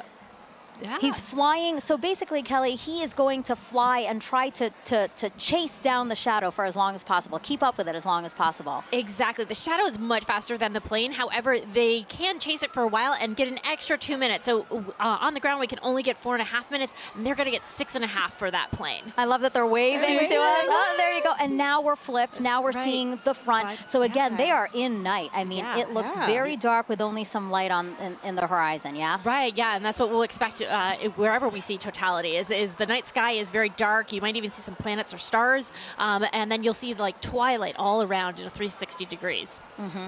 What an amazing vantage point as well. My gosh. I'm very jealous. Kelly, are you jealous? I kind of feel I'm like kind you're of jealous. a little jealous. Uh, yeah, I kind of want to, you know, see if I can make a faster plane so we can, you know, right, follow it all the whole way. Plus, they're up above the clouds, so yes. they don't have to worry, worry about the clouds. Exactly. well, I do want to say a big thank you to the WB57 pilots and the whole team supporting them for that great view. That was awesome. Kelly, you know, you have a wealth of knowledge when it comes to the sun, and and for those watching, if you're interested in learning more with her, check out her and other experts featured in the Sun series of NASA's Curious Universe podcast and that QR code will pop up on the screen, screen and that'll take you straight to the episodes. Again, look at that double box we got there. We're showing you amazing views during this broadcast. A big thank you, actually, to the Solar System Exploration Research Virtual Institute, or SERVI, for providing the telescope views from Mazatlan. Yeah, the SERVI team down there, the SERVI team is based out of Ames, but it is a collection of, of teams across the country and across the world that are sort of studying this, the intersection of science and exploration, helping us get ready for our next trip with humans to the moon. Yeah, that's amazing. Okay, totality is actually about to end in Mazatlan let's keep watching our screen right now for, again, what are we watching for, Kelly? Uh, we're watching for the diamond ring effect. So that's when the first bright light, we're starting Oh, to see it on the side there. Um, so you're going to put your glasses on right now to protect those beautiful eyes um, because now we're going back to the partial phase. Whoa, so, that's amazing. Wow. Kelly, that's a filter, by the way, everyone. That's why we're seeing that. But when you said put on your glasses, I'm so trained now to do it that I that I almost did it here in Cleveland. No, we're fine in Cleveland. We're still in Mazatlan. Again, what we're seeing is because we needed to adjust the filter. Now that again we are, it's basically like putting on our glasses. The way that you said people on the ground need to put on our glasses, our telescope operators need to protect their own eyes as well as their equipment. Exactly. Well, thank you so much, Kelly. I really appreciate your time here with us. It was so fun to learn about the science and actually see the first eclipse come uh, for uh, North America here. So thank you so much. Thank you. All right, as you can see, there's a lot to learn about our sun and eclipses. So to explain it all in a really fun way for kids, NASA developed a clever game called Snap It. We have another QR code coming on your screen right now. Just scan that code, or if you're watching us on your phone, all you have to do is screen grab it, press on it later, and uh, you can check out that game. Also, the website, if that's easier for you, go.nasa.gov slash snapit. Okay, so NASA can predict the total solar eclipse's path to a high degree of accuracy because of a spacecraft that launched nearly 15 years ago. This same spa- spacecraft is now helping our Artemis 2 astronauts who'll be orbiting the moon next year.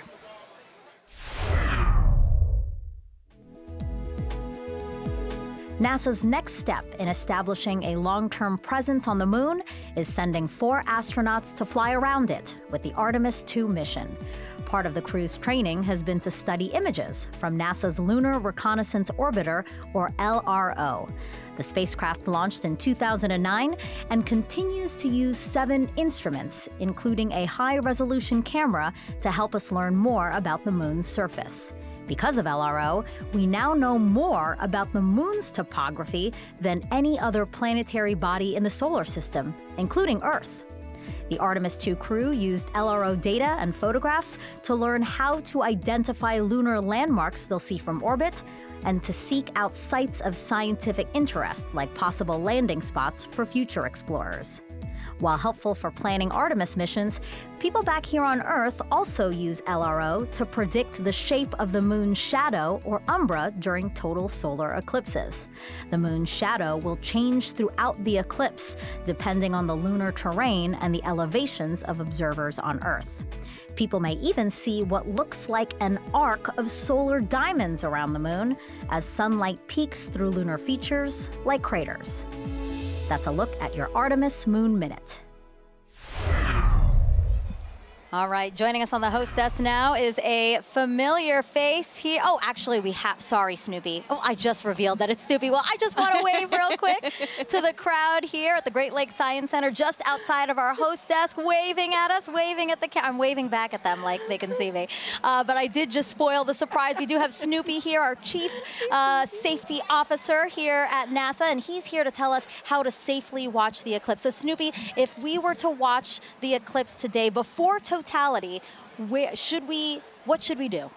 That's right. You should have your glasses on. That's right. well, and what about during totality, Snoopy? Can we take them off then? Yeah, let me help you out here. Oh, Snoopy, there I can see your shining bright eyes. I love Snoopy. He's so funny.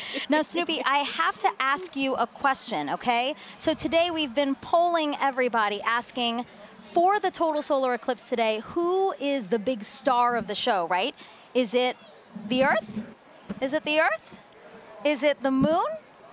It, is it the sun? Okay, but you have to pick one. You have to pick one. You have to pick one. You don't. You don't No, want to pick all- one. all of them. all of them. All of them are great. That's right. Snoopy, thank you so much. I know you're super excited to see the total solar eclipse today. We're glad to have you here. Bye. All right, now let's head back over to Tahira in Kerrville, Texas. All right, thanks, Megan. I mean, what an incredible view from Mazatlan, Mexico. amazing. And folks, as you can see in your screen right now, we are less than one minute away from the eclipse crossing over Torreon, Mexico. Gina, how fast is this moon shadow moving right now? I mean, it's it's flying. It's going about 1,900 miles per hour as we're chasing it across the U.S. That is incredible. And so, you know, in Mazatlan, we were able to see the diamond ring effect. That's right. Some It Baily's was beautiful. beads. So hopefully we'll be able to see that in, in Torreon right now. Yeah, we're watching that live feed. Yes, just to see this this sliver crossing over the moon. That's right. We're getting so close there. We are getting we'll see so that diamond close. ring too. Wow. Look at this. And so we're about 10 seconds right. away. Here we go. Let's take it in. Wow.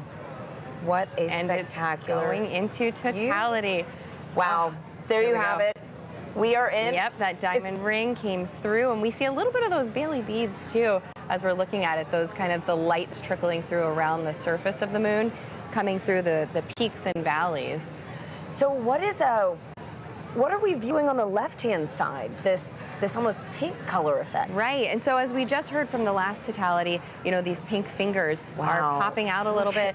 And those are those solar prominences. They're appearing pink because of the, the helium rich. Oh, but we can see it. Let's focus on the corona here, that glow that we're getting. And we can see basically these streams that are coming out, a lot of that energy and brightness that we do not have the ability to see on a day-to-day basis. So with this total eclipse, we're able to see that corona nice and bright coming through in Torreon. That is just a like magical view. Oh my goodness, It Gina. is. Gina, okay, and so let's take, we've got so many questions coming in online right now from Awesome. viewers watching this.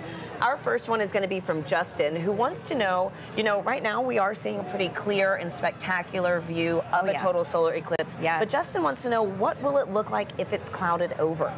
Right. So the view that we're getting right now, you won't be able to see that if it's clouded over, but you will have effects going on, right? You'll get a change in the temperature. So the temperature will drop.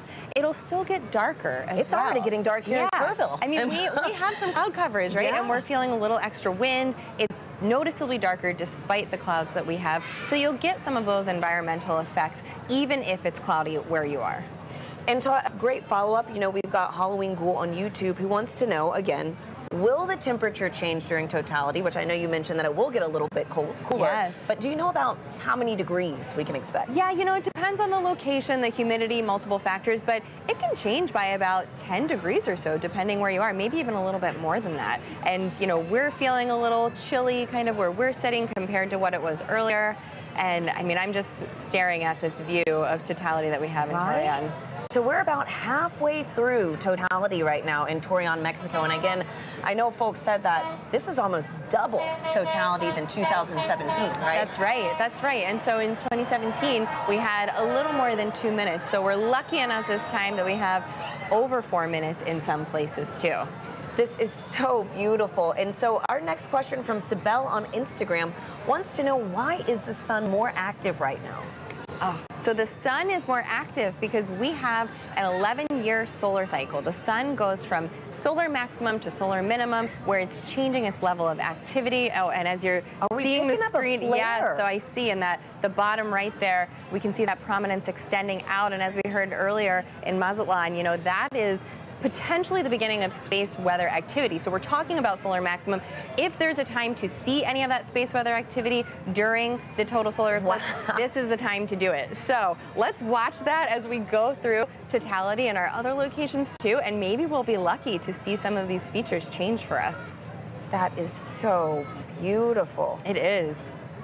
And so Gina, too, you know how um, we're in a we're in a higher cycle, uh, solar cycle right now. How many years, you know, is that fluctuation? Right. The, the solar cycle goes on for 11 years when it peaks in activity, and that's where we are. Where the latest predictions are, are that we will reach that maximum sometime this year, and then it'll decrease in activity going back down to solar minimum. And so, Gina, I've got time for one more quick question from Christopher on X, who wants to know which other planets have the best eclipses. Oh, okay. Well, that's right. So eclipses don't only happen on Earth. Let's talk about Mars for the fact that Mars does have eclipses when the moon crosses in front of Mars. Mars has two moons, and the, the rovers on the surface have captured images of those. But no other planet has a view quite like this, right? Nope, that is special for us. Just the distance and the size of the moon makes it such that it will completely block the sun as it's doing today. Wow. And you Wow. can see there's that diamond ring effect as we are coming out of totality in Torreon. What an incredible Wow, it's a bright one view. too. Look at that. That is a bright one. So is this a this is what a Baily's bead or So that that's going to be that diamond ring. Just how bright it is. Baily beads are a little bit smaller as they kind of bubble over the surface, but folks who are in that location should have those safety viewing glasses back on so that they can now view the partial eclipse that they are experiencing. Well, that is fantastic. And you know, the next time we see this eclipse, it's going to be right here in Kerrville, Texas. So, folks, the countdown is on. We've got about 10 minutes until we see this with our right. own eyes. You can hear people In, yes, big moment right here in Kerrville. For now, let's check back in with Lauren at the Indianapolis Motor Speedway. Thanks Tahira. We are getting close to eclipse ourselves, but for now, we have a very special guest, NASA's very own Pam Melroy, Deputy Administrator and former astronaut. Pam, it's good to see you. Oh, it's great to be here. I'm so excited. It's very exciting. So, what's it like being in Indianapolis for an exciting event like this? well, it's a beautiful day here. And I love the fact that we're here with thousands of people in the Indianapolis Motor Speedway. But we're joining with millions of people around America looking up together to the sky. Absolutely. And tell me, is this your first eclipse? It's not my first eclipse, but it will be my first totality. Oh. I've seen several partial eclipses, but there's something mystical and mysterious and in some ways unifying about a total eclipse. And we're all going to feel it together. Absolutely. We could not have lucked out more on this weather today. So, as a former astronaut, we know that sun science and space weather are very important to keeping our astronauts safe. What is um, space weather and why do we care about it? What is NASA doing to study it? Yeah, that's right. It's actually very important. It is of concern for astronauts who are in space because they experience the radiation of the sun that comes from solar flares and solar weather. But the reality is, it's also affecting life here on Earth. It impacts the upper reaches of our atmosphere called the ionosphere, which is an electrified part of our atmosphere that is a conduit for communications. Um, it's it's critically important. It can even affect power grids. And of course, if you ever have seen the northern lights, you've seen the effect of solar weather. So but really the focus for today is where that solar weather starts, and that's in the corona, the sun's atmosphere. It's very unusual, and we don't exactly know what's happening because the sun's atmosphere is millions of degrees hotter than the surface of the sun. So we are hoping to learn today more about how that happens and why that happens so that we can better predict those solar flares and those things that impact us here on Earth. Yeah, that's all extremely important and something that we're learning a lot today, too. Pam, thank you very much for joining us today. Thank you.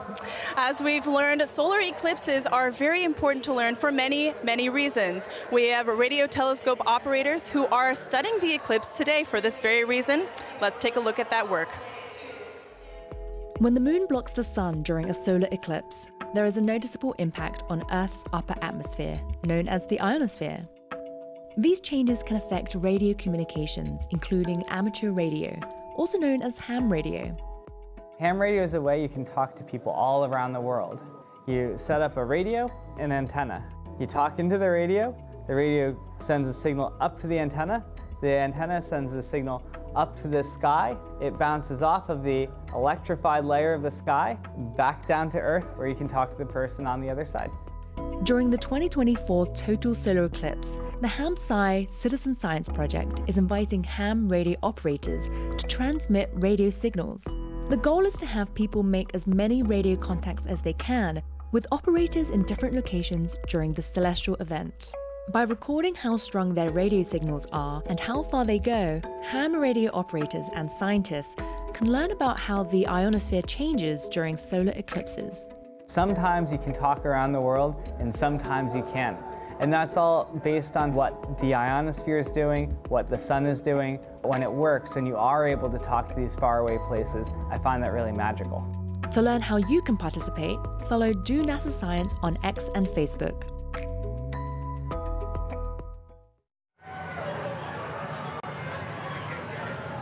And we are minutes away from the total solar eclipse over Kerrville, Texas. The temperature is dropping. As you can see, I had to throw on a jacket. The sky is dimming. We're on the edge of our seats, and we are joined now with astronaut and commander of the Artemis II mission to the moon, Reed Wiseman. Reed, it's an honor to have you here. Thank you. The crowd noise, like Right. the fact that the sun is behind the clouds most of the time and peeking out, this is, it's so Yes, wonderful. I know. Thanks for being here. Reed. You can As you can that. hear, like we are ready. We are right for this there. event. So exciting. So tell us, Reed, you know, obviously everybody is excited, but have you seen a total solar eclipse before? Never a total, so I will share this darkness with you and this whole crowd the first time. my wow, gosh, this that's is great. incredible. That's so, great. too, you know, what considerations do you and your fellow Artemis astronauts need to think about when related to the sun when traveling back to the moon?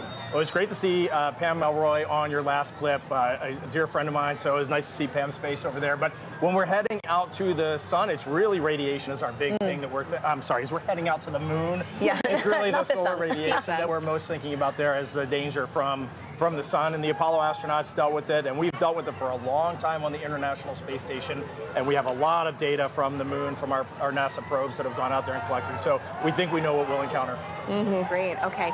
And tell me, Reed, how does it feel to be the commander of NASA's first crewed mission going back to the moon since Apollo? I am flying with Victor Glover, Christina Koch, and Jeremy Hansen. The three Dream best. team, That's yes. I know. So every day that I go into work, I won't say every day is easy, but every day is fun. And I'm flying with people that have principles, they have integrity, and they have just so much knowledge and professionalism. It's a dream come true. And getting to work with the whole team, the international team, uh, it's the best. Wow. Well, thank you so much for being here with us, Reed. You know, really quickly, do you have any advice for anybody that might want to follow in your footsteps one day? Uh, we always say that you have to find that job that you love, go all in on it, live your best life, be as good of a professional as you can, and someday apply for the program. And we look forward to seeing your application come across our desk. Thank you, Reed, and good luck on Thank your you. upcoming Thank mission. you. Thank you. Great to be here. Now, if anybody feels like reaching for the stars, NASA is actually currently accepting applications to be an astronaut. You could one day travel to the moon and eventually to Mars. From teachers to scientists to even those in our armed forces, we are looking for a diverse group to take humi- to humanity farther into the cosmos. You can apply now through April 16th by visiting go.nasa.gov slash astro 2024. Now, timing is everything when it comes to pulling off successful science during an event like today. Let's hear from a very special guest who also knows a thing or two about perfect alignments.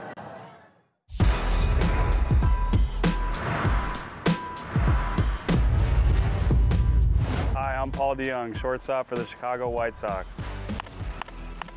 What does it take to do my job? Gotta know your physics. I specialize in predicting the path of fast-moving objects at a split-second pace. At my position, it's key to know exactly where and when two paths will cross. Just like NASA needs to know when the Earth, Moon, and Sun will align to predict a solar eclipse. Working it all out on the whiteboard is one thing, They're ready, folks. Solar eclipse delay at Volcano Stadium. but seeing it in action is a whole other ballgame.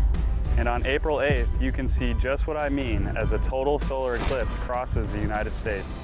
NASA has mapped the detailed shape of the moon's surface, so we know exactly where the moon's shadow will fall.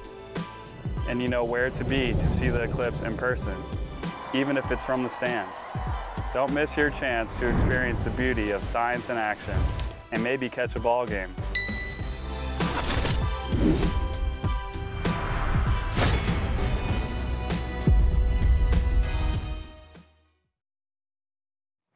Can't see it.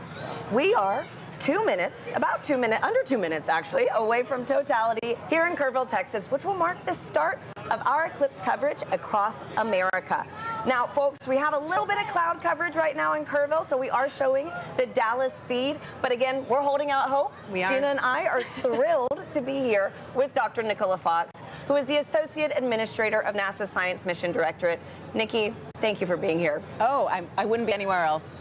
Thanks for being here, Nikki. So tell us how the science conducted today will really impact the future of exploration at NASA Science. Oh, wow, there's so much that we're going to be doing today. Uh, we're going to be studying the sun. We're going to be studying the Earth's atmosphere and how that changes. You can see it getting dark here. And, um, you know, we've got, we've It got these little so dark. magnetometers. They're going to be all across. We have 30 of them all the way across. Um, I'm going to hold it up. Very nice. Love magnetometers. Magnetometers, and um, we're gonna we're gonna be having these all the way uh, across the path of totality. And it sounds It like we sounds should go. like we should get up. Oh my Right, let's let's go, less than a let's go. Oh my let's go. goodness. Less than a minute. Oh my goodness. Wow. Okay. All right, looking. glasses on, Nikki? Uh, yes. Yeah, Or glasses no? on, but we're about to get. Gla- well, okay. Yeah. There's some cloud Yeah, there's coverage. some cloud coverage. It's trying to peek It out. is though. trying. It is trying. It is trying. it is getting dark sure. here. The wind's picked up. You could actually see the birds started flying in a very weird That's pattern a minute true. ago. Good point. Um, come on, clouds. Everyone's Wow. screaming. Yes. You know, I might have to switch to Team Sun. Come on. oh my goodness. We're there. We're nearly there. Okay. Here we go. Wow, the crowd Wow. is counting, counting down. Wow. Yes.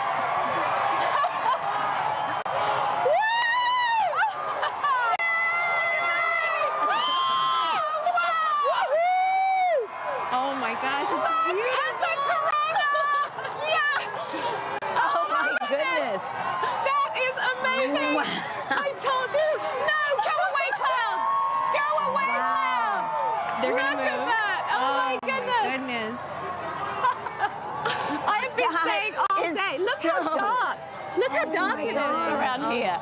Yeah. It is just this is white just ring. a white ring. Yeah. It's so dark. It is so It's dark. so dark. It is you can see dark the planes here. in the sky You much can. better. Wow. You can. Everybody we have just planes and helicopters and drones The whole all over the crowd place is today. just Oh, look at. The clouds are gonna clear for us. that. Oh. Yes. Yes. Woo! Woo! Oh my Look at that. Just It's look amazing. at that. That is And we have about what four minutes Oh, yeah. to Four just minutes bask and 25 seconds. To be a Yes. I mean, this really Yes. again mm. reminds you that we are on this one planet, you know, Yes. in this larger system. It's And you have to be on this planet to see what we're seeing. You do. right now. That's why we are Team Sun, Earth, Sun. and Moon. Because with, you need the moon for an three. eclipse. You need the sun for an eclipse. And we're standing on the Earth to see it. Oh man. So, all of NASA science represented by a total solar eclipse. and something that what over 30 million of us today, at least Yeah, in at the least. path of yeah. At least, yes. able I to mean, witness Yeah, this. 31 I don't know about people you, living in the mm-hmm. path of totality. So Doesn't imagine how the many people actually traveled here. Yes. Absolutely. Yes. This Wow. is getting me extra excited about all the science that All the science that we're doing. right? Yes. Yes. All right, those clouds are playing tricks Those on us now. Those clouds are being pretty mean. yes. It was nice to get a taste, though. It's wow, true. It is Yes. so dark. It is- We've got everybody it is looking so up. dark. I'm so happy that you Yes. know for So folks that good. travel, Yes. able to see this take place. That's right.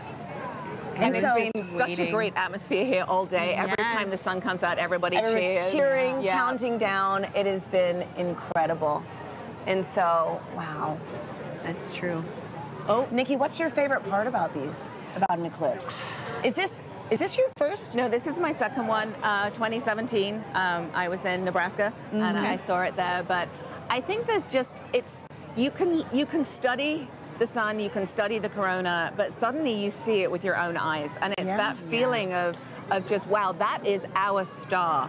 Like that isn't just it isn't just the sun anymore. That's a star, and you see it looking like a star. And you know, as we study. Um, you know, as we look for uh, exoplanets in other galaxies that might be able to support life, you know, we need to understand our relationship here on this planet with that star. And That's so it's just, it's so important. And I think when you see it, you're just like, wow, it actually is a star. Yeah. you know, it's not right. just a bright point of light in the sky. You can see the structure, you can see uh, just how exciting the, the sun is, and actually how dynamic it is. Yeah.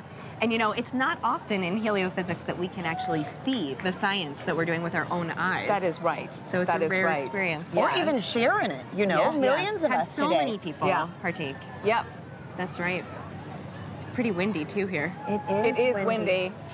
And so I know earlier in the show we've mentioned that total solar eclipses really might only pass through a certain location, say every 300, what, 75, 75 years. years? Mhm. Yeah. Can you explain how come we don't see eclipses like this every every day? month. Mhm, Yeah, Every month. Um, because the moon's orbit is actually tilted, and so most of the time when it passes in front, we, it doesn't block out the, the light for us. At this particular time, it is right between on the plane between the Earth and the Sun. It is it is actually at its closest point to the Earth, and so in the plane of the sky.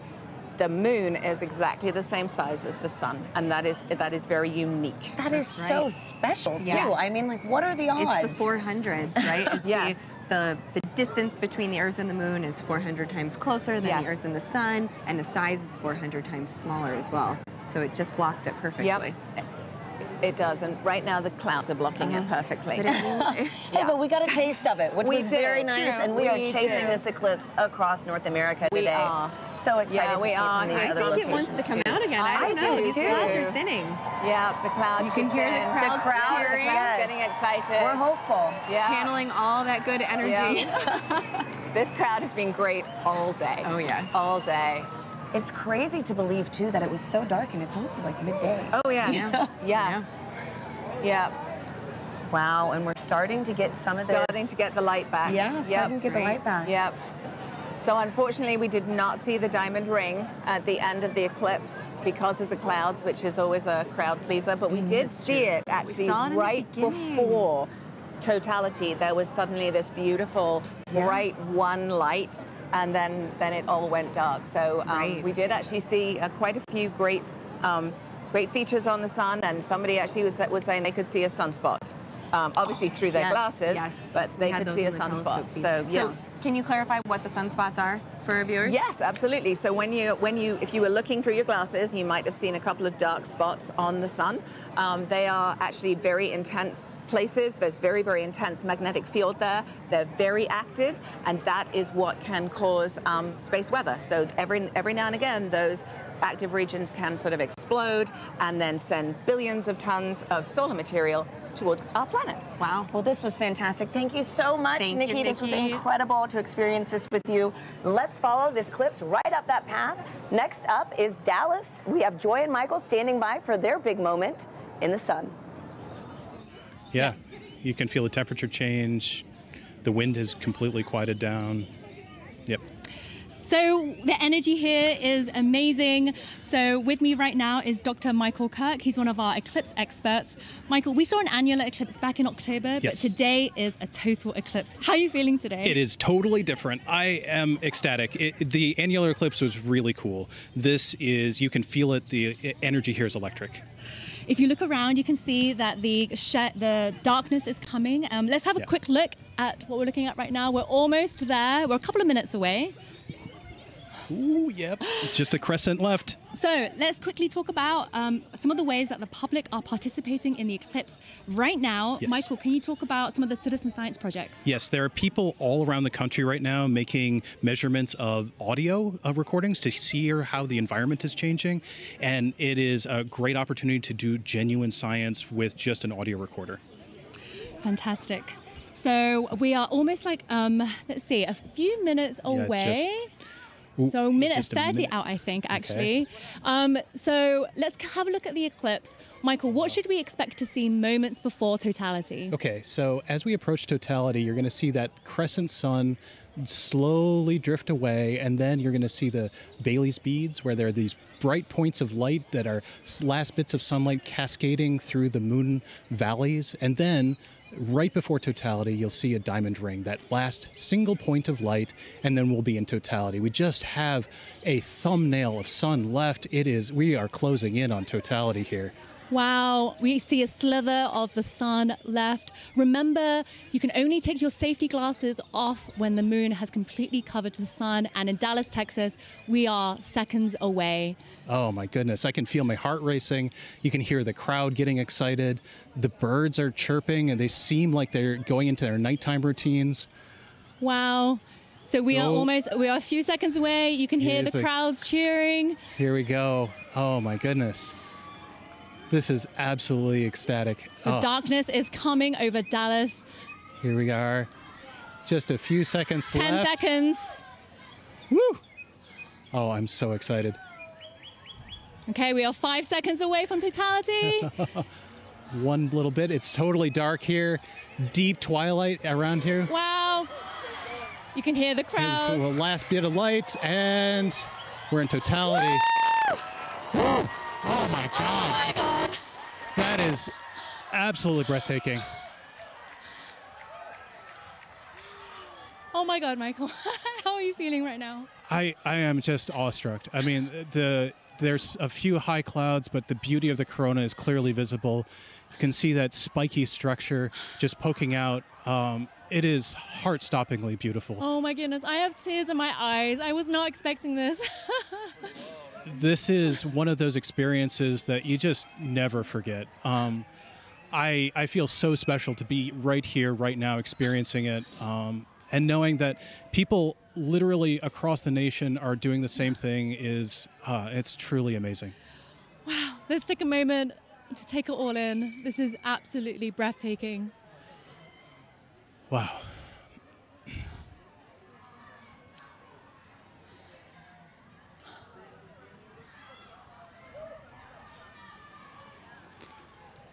You can see that spiky structure of the corona. That's indicative of, of, of our approach to solar maximum. That asymmetrical uh, nature of the corona happens when we're in solar maximum, and that's going to be happening in about a few months from now.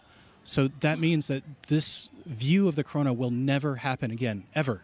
This is a completely unique view that even if you see a million solar eclipses, you'll never quite see one like this. So, Michael, you study the sun. What is it like to see the corona that you don't normally see? I mean, I I just there are no words. Um, I spend my life studying this thing, and to be able to see it and feel it is, I mean, it's just tremendous. Um, you can see a, a prominence um, in the chromosphere, the the middle atmosphere of the sun is a pink spot. And that, that pink loop is what I spent five years doing a dissertation on. that that one little pink loop, and it, it's just Oh, it makes it all feel like it's in perspective now. I can't believe how clearly I can see those pink loops and We the can s- structures in the corona. We can see a few planets out as well. Um, they're they're brightly shining in the sky, and actually, there's a, a plane racing across the shadow as we speak as well. And I just want to take a moment to say huge thanks to our telescope operator, Vanessa Thomas, for providing these views. The, this is just so, so stunning. Uh, people are applauding here, as you can hear. I mean, I think everyone here is getting exactly what they came for, which is just that sense of your place in the universe. This is. Um, this is our closest star, and being able to see the star like this is truly special. Okay, we have one minute left of totality.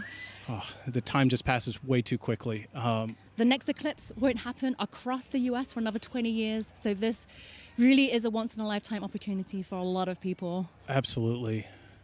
Our friends up in Alaska will see their next eclipse in 2033. So I I am like already thinking I need to go there. I mean, it's just it, yes, it's, I, I, it's like, it doesn't matter how, what I need to do. I just have to go there. Wow. So we're 30 seconds out. Oh, so right before totality ends, our telescope or- operator, Vanessa, is going to put the solar filter back on. But let's just cherish these last few moments of totality in Dallas, Texas.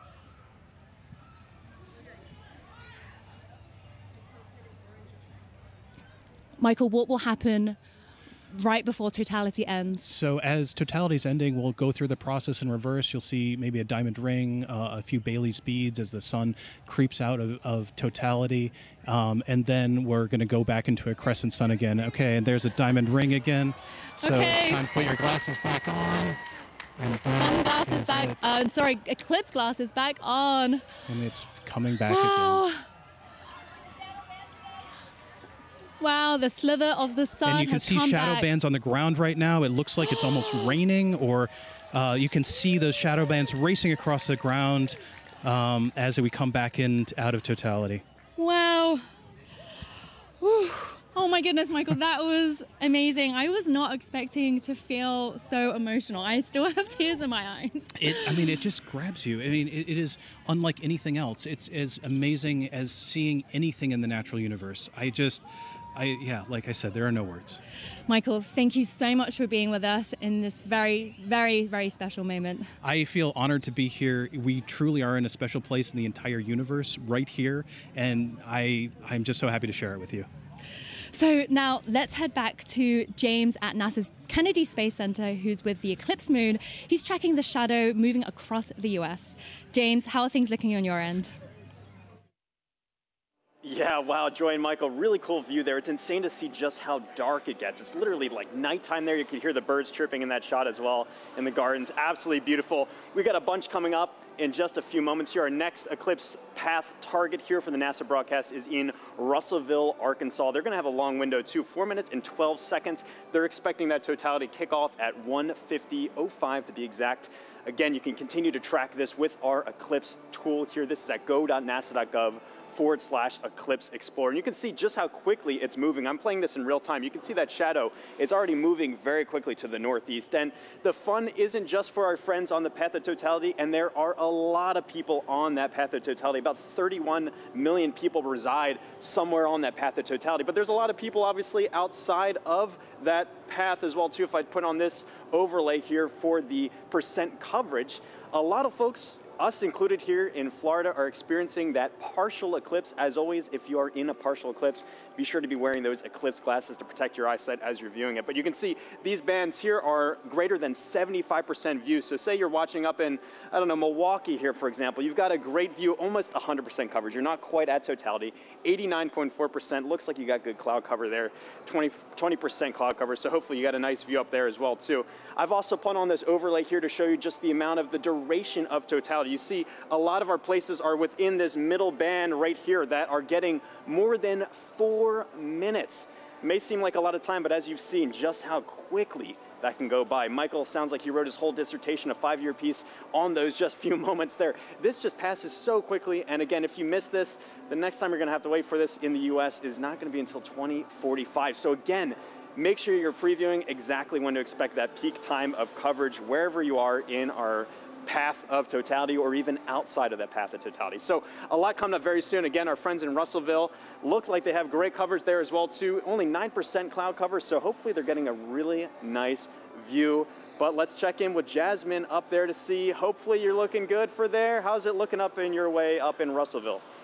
I'm just looking this way. Everything is looking absolutely fabulous here in Russellville. We could not have asked for better weather. So we are back here in the downtown depot area, and joining us now is heliophysics expert Dr. Patrick Kane, all the way from DC. How are you feeling about your very first total solar eclipse? I'm incredibly excited. As, I, as I'm watching all of the changes, there go the crowd. I, as I'm watching all of the changes, I'm thinking back to the textbooks that I've read, and this is so it was all academic before. This is no longer academic. Yeah, so the feeling is very different than what we might read in a textbook. Patrick, just explain, you know, describe the atmosphere around us as it's changing. Uh, right now, as I'm looking around, of course, the temperature has been falling for the last 20 or 30 minutes, but the light is dimming and it's dimming faster and faster and faster. It seems like it's it's, it's accelerating. Um, the crowd is definitely getting excited. Uh, I'm, I'm, looking around the ground to see if I see the shadow snakes. I don't, but this is just really exciting. It really is. Honestly, like you said, we're feeling that cooler weather. Yeah. The crowd behind us just erupted. We're also feeling them fall a little bit quieter too. Right. So we're going to take a, a, beat of silence as we get into totality. I think we're, we're less than about 15 seconds away. So we're going to also look over our shoulder with yep. our solar with eclipse our glasses solar still on glasses. until we are in totality. Here we go. Just a sliver of the sun left. Getting close. Crowd's getting excited. The crowd, yeah, all around is completely electric.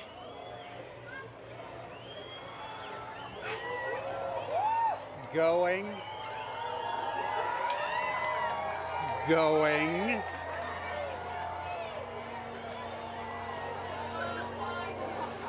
Wow. Oh my goodness. Here we are. Here we go. And.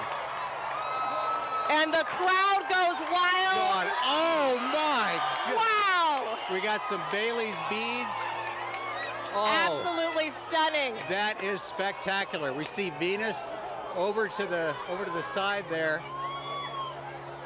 And Patrick, it came and went so quickly, but we did see a diamond ring We did at the very beginning there. Can you describe to us what is that? Sure, that, that diamond ring effect is due to the, the moon not being perfectly smooth.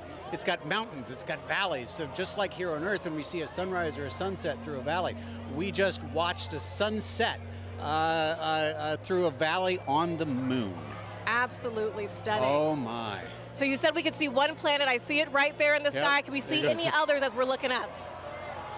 Yeah, we've got Venus on the, on the over to one side. We've got Jupiter up here uh, to the left of the sun.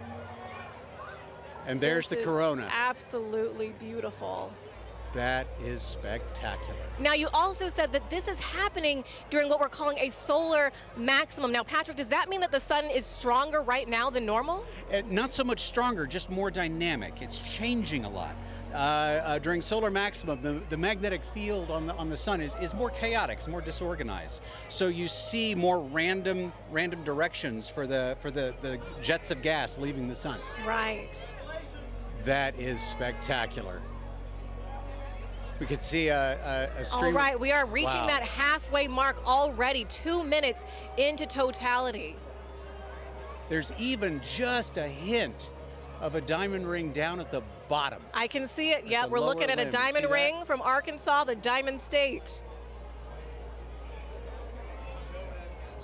Now, Patrick, of course, as we've been talking about it, this is part of what we are calling the heliophysics big year. You are a heliophysics extraordinaire all the way from Washington, D.C. So, what does that mean? Okay, so the heliophysics big year started out in October of last year with the annular eclipse. And and uh, of course we, we take a pause here in the middle to, to, to watch this particular eclipse, but then it will end on December 24th of 2024 when Parker Solar Probe passes as close as it's ever going to get to the surface of the sun within nine solar radii. Oh, wow. And I'm sure that means a lot to you because you worked on Parker Solar Probe about 20 years ago during its inception. So, tell us a little bit more about that. I worked on the on a concept study for Parker Solar Probe back when I was a graduate student uh, in around 2002 or so, and and back then the idea was for it to actually dive into the sun rather than orbit the sun. So it was going to be a sun dive. Wow, that is fabulous. This must be a very full circle moment for you, right, This, is- this is brilliant. This is absolutely brilliant. And that that diamond ring has been persi- Wait a minute. That's pink. What we are actually seeing is down into the chromosphere Oh, now wow. of, of the sun. We're seeing a little bit deeper than than the corona. I, I believe. I believe it's a, a because of the pinkish color. We're looking down into the chromosphere, which is the next layer of the atmosphere of the sun down. Oh, wow. Wow. Oh my God. This is like nothing we have ever seen here in Arkansas and like nothing we will see uh, for the next two decades, right, Patrick? That's right. It's going to be 21 years before we see it again here. 2045. All right, so as we are starting to exit totality, of course, we're going to be very careful uh, with our eyes if needed. Uh, we're going to put those solar glasses back on, of course. And the crowd just erupting, falling quiet again as they watch this Wow. magnificent And moment I am actually place. seeing bats flitting through the air. Oh, wow. well, we will be very careful then. Well, yeah. and why is that, Patrick? Again, those nocturnal animals are, are coming out, right? As far as they're concerned, it's nighttime. It's time to feed. So they're coming out to feed on all the mosquitoes we've been swatting. Okay, got it. We'll be very careful for, for all those uh, nocturnal critters around us right now. All right. We are getting closer. Get ready to put those All glasses right, all back right. on. We're putting those glasses back on. The crowd Oh, is. oh wow! A second diamond ring seen from right here in Arkansas, the Diamond State. Absolutely stunning. Outstanding. Beautiful. Patrick, we're going to turn around now and just uh, one question I, I really do have to ask you before we let you go is Are you Team Sun, Moon, or Earth? I am Team Sun. Team Sun all day long. Fantastic. I figured from a heliophysics expert like you, we want to thank the city of Russellville for hosting us, Arkansas Tech University, and our telescope feed operator, Joe Mattis. Thank you so much. Now, let's get back to James Tralie over at Kennedy Space Center. James, back to you. Yeah, thanks so much, Jasmine. What have you guys had there? So you were just right here in Russellville. You can see that shadow has now officially moved off and is on our way to our next target, which is up here in Carbondale. Carbondale is one of those very lucky cities because back in 2017, they were right at that intersection point of the 2017 eclipse across America. They're there again this year, but the difference is they're going to have a much longer slot. In 2017, they only had two minutes, 40 seconds, and that's not as much as they're going to have this year, which is 4 minutes and 10 seconds in the totally eclipsed sun. A really great viewing window for them to really take in this big moment. Very exciting to be able to track that for them as well. And also some details about this tool here as well. If I click onto their eclipse time here of 159.15 local time, you notice this little icon comes up here. This is actually simulated based off real data from the Parker Solar Probe of what we expect the corona around the sun to look like. And as you just heard, the sun's a lot more active this time around. It's kind of like a, a, like a wild hairball, if you will. Lots of different streamers and things streaking off the sun. So you've been seeing already in our coverage some really cool activity around that sun's corona. If you're really lucky and the timing is just right, you might get a coronal mass ejection streaking off the sun hoping that someone on our path gets to see that today. If you do, be sure to send us the photos. We love to see that as well. One other cool feature about this tool too is you can see the actual path that the moon is going to be taking across the sun. And all of this plays in real time if you time it up well. And so you can actually see, if I go to our live moment here, this is actually playing as what we're expecting in real time, the movement of the moon across the sun. Carbondale just had a little crescent there, and you can see that shadow is really closing in on them very quickly. Let me turn off the 2017 path and zoom in a bit here.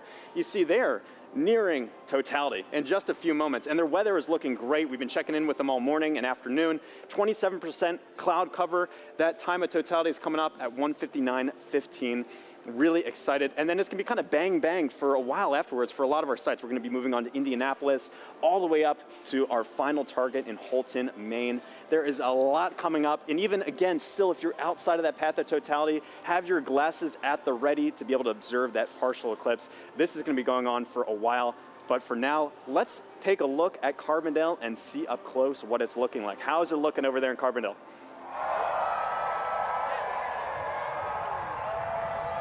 Couple more minutes. Well, the crowds are going nuts here in Carbondale at SIU at Saluki Stadium. Bob Baer is with us, and Bob, uh, it's amazing. I, am afraid to look up. I know it's not quite ready yet, but tell us, what do you expect here for the eclipse today? Good weather. It's good weather right now. We have high clouds, so totality is going to look just a little bit fuzzy to us, a little bit hazy. But we are moments away from seeing the diamond ring here. This is awesome. Oh, oh, oh, oh! I thought we saw it. I think I we got about one early. minute. Okay, one minute away. Now, we're today we're having longer totality. So, yeah. I, are you feeling the temperature change? Because I'm already feeling the temperature drop. I felt the temperature dropping about 20 minutes ago, right. even, and the wind picking up a little bit. And I think, yeah, we have four minutes and nine seconds here, so it'll continue to get cooler and I, we got a lot to look at in the sky. I'm very excited. I'm I'm looking up when I can. Oh, it's so close. Uh, it's getting very dark right now. See the shadow. very dark. You can see the shadow going across. This is the start of it. It's dark over here. It's light over there. This is the amazing. Crowds are going nuts. We're about to get word Venus. that uh, we're That's at Total. Oh, you can see the planets. The crowds are going nuts. This is crazy. yeah. Bob, oh this is amazing. Here we go. Don't don't look close. at the sun yet. Real it's not close. quite totality, but you can still see some of the planets right away. Very close. You got about 15 And the crowd seconds. is very oh, happy. shadow bands. Oh, total darkness here. This is incredible. Oh, wow. Oh. There it is. Diamond there it is. ring. Diamond ring. Diamond wow, ring. it's amazing. Hold it's amazing. That is awesome. Look at that. Oh, and yeah. Bob, that's that's amazing. Wow. Jupiter. Complete totality. I see Jupiter. Oh my gosh, that is gorgeous. Wow, this is amazing, Bob. Wow, that is huge. So we have some prominences. I think we want to go look through the yeah, scope. Yeah, go, go through, look through the scope. I'm going to walk over with you as you talk through the scope. We are right here at one of the telescopes that we have positioned here. Oh, Bob is wow. looking through with the naked eye and so going to give us some feedback on that We maybe gotta- on, maybe yeah. some prominences we're seeing. We What's amazing is how dark it. it is compared to 2017. Much darker, a lot more astronomical features. We have seen Jupiter, and I believe what planet? What what planet is that, Bob? That's Venus to the right. right That's I the Venus. Can't quite see Mercury. I think it's obscured by those light clouds. Yeah, up light there. clouds. But 360 degree sunset around us. Uh, this is amazing. It's going to get darker. Uh, it's going to get darker. It's going to get darker. Wow, Yeah, we're this is not- already we pretty are- dark. We are not in the middle of the shadow quite yet. Wow. Did you see it? Yeah, timer started. Okay, 246 to go. Okay. Yeah. All right, so we're getting some live data from the team here. I tell you, it's really impressive, Bob, because Oh my gosh, Oh, it's getting better. that- that- see that prominence at the bottom? yes, at the it? bottom, there's a prominence. I see it. Wow. I keep looking. I can't believe the Mercury, so clarity. That it's so much darker than 2017. It's gorgeous. And what's awesome, we have six telescopes running back here, That's capturing awesome. data, streaming this. And well, and that's a big important part here. This is not just capturing image to share with people uh, watching the show. You are actually capturing scientific data that can be used by scientists everywhere. We are, and we've seen totality across North America so far in Mazatlan. Now we're experiencing it ourselves, and we'll experience it after this on the Jumbotron It's from like- the other dev sites. It's like the most amazing eclipse train you could ever ride on. Wow. This is a bit better than 2017. I, I, without a doubt, without a doubt. No, no cloud. And you know what's interesting is the, cl- the the crowd is quieting down. They seem to be experiencing the moment, taking it all in. A really special moment Oh, here. Look at that. So we must be getting close to the center. Where are we at? Two minutes? So one minute, 30 seconds. The corona's looking brighter because Yes. our eyes are adjusting now. I mean, that is amazing, Bob. And and how much corona you see? I mean, like A just lot. last time I didn't like see that much. Visually, oh, there goes a bat. See the bat flying over the crowd. Oh yeah, we talked about the animals. Now now Yeah. we see them becoming active. We found uh, a luna moth earlier as Wow. well. But Wow. that corona is about four times the diameter of the sun. That is massive. That is amazing, Bob. And I'm really curious One about minute? that promin- Okay. prominence at the bottom. Have you looked yet, Blair? You No, have I to look. haven't, I haven't. So take a look. So Blair's looking through the scope now. Oh my goodness! Totality. Uh, no, that one right right at the bottom is significant, Bob. It looks like a a, a coronal mass ejection, but uh, don't don't fact check me on that because I'm just a novice. But there's actually two on the bo- Bob. You got to look at that. There's two. Look, look. Look- look at the 30 seconds. William. 30 seconds left in totality. Uh, William. jump in there. Take a look. It's great because uh, we have Oh, it's getting- telescopes out here for people to look at and actually see Oh, total you can eclipse see more through it. corona. And uh, We're getting close. I don't know what you guys are seeing on the, on television, but 10 seconds. We got to cut it off. okay, all right, here we go. Ten seconds before we need to put our glasses back on. Okay. Oh, sorry. You're good. You're good. Uh, we put the cap back on the telescope to make sure nobody looks. What an amazing event, late. Bob. There's the go. diamond ring. There's the Nice. second one. Oh, snap. oh, that's amazing. Uh, it's like it was scheduled. Yeah, somebody had the timing right here. Oh, my man, God. that's amazing. We will see shadow bands Oh. again here. Oh, you hear the crowd. Everybody's excited. That's there we go. What an amazing moment here at Saluki Wow. Stadium Oh my gosh. with Bob Baer and 10,000 fans, all loving every moment of it. Bob, some cow. final words. Well, I think we just had an eagle fly over. Okay, so but incredible. well, that's So- one of those things you said. We saw animal reaction, we Yeah. heard it, we felt it.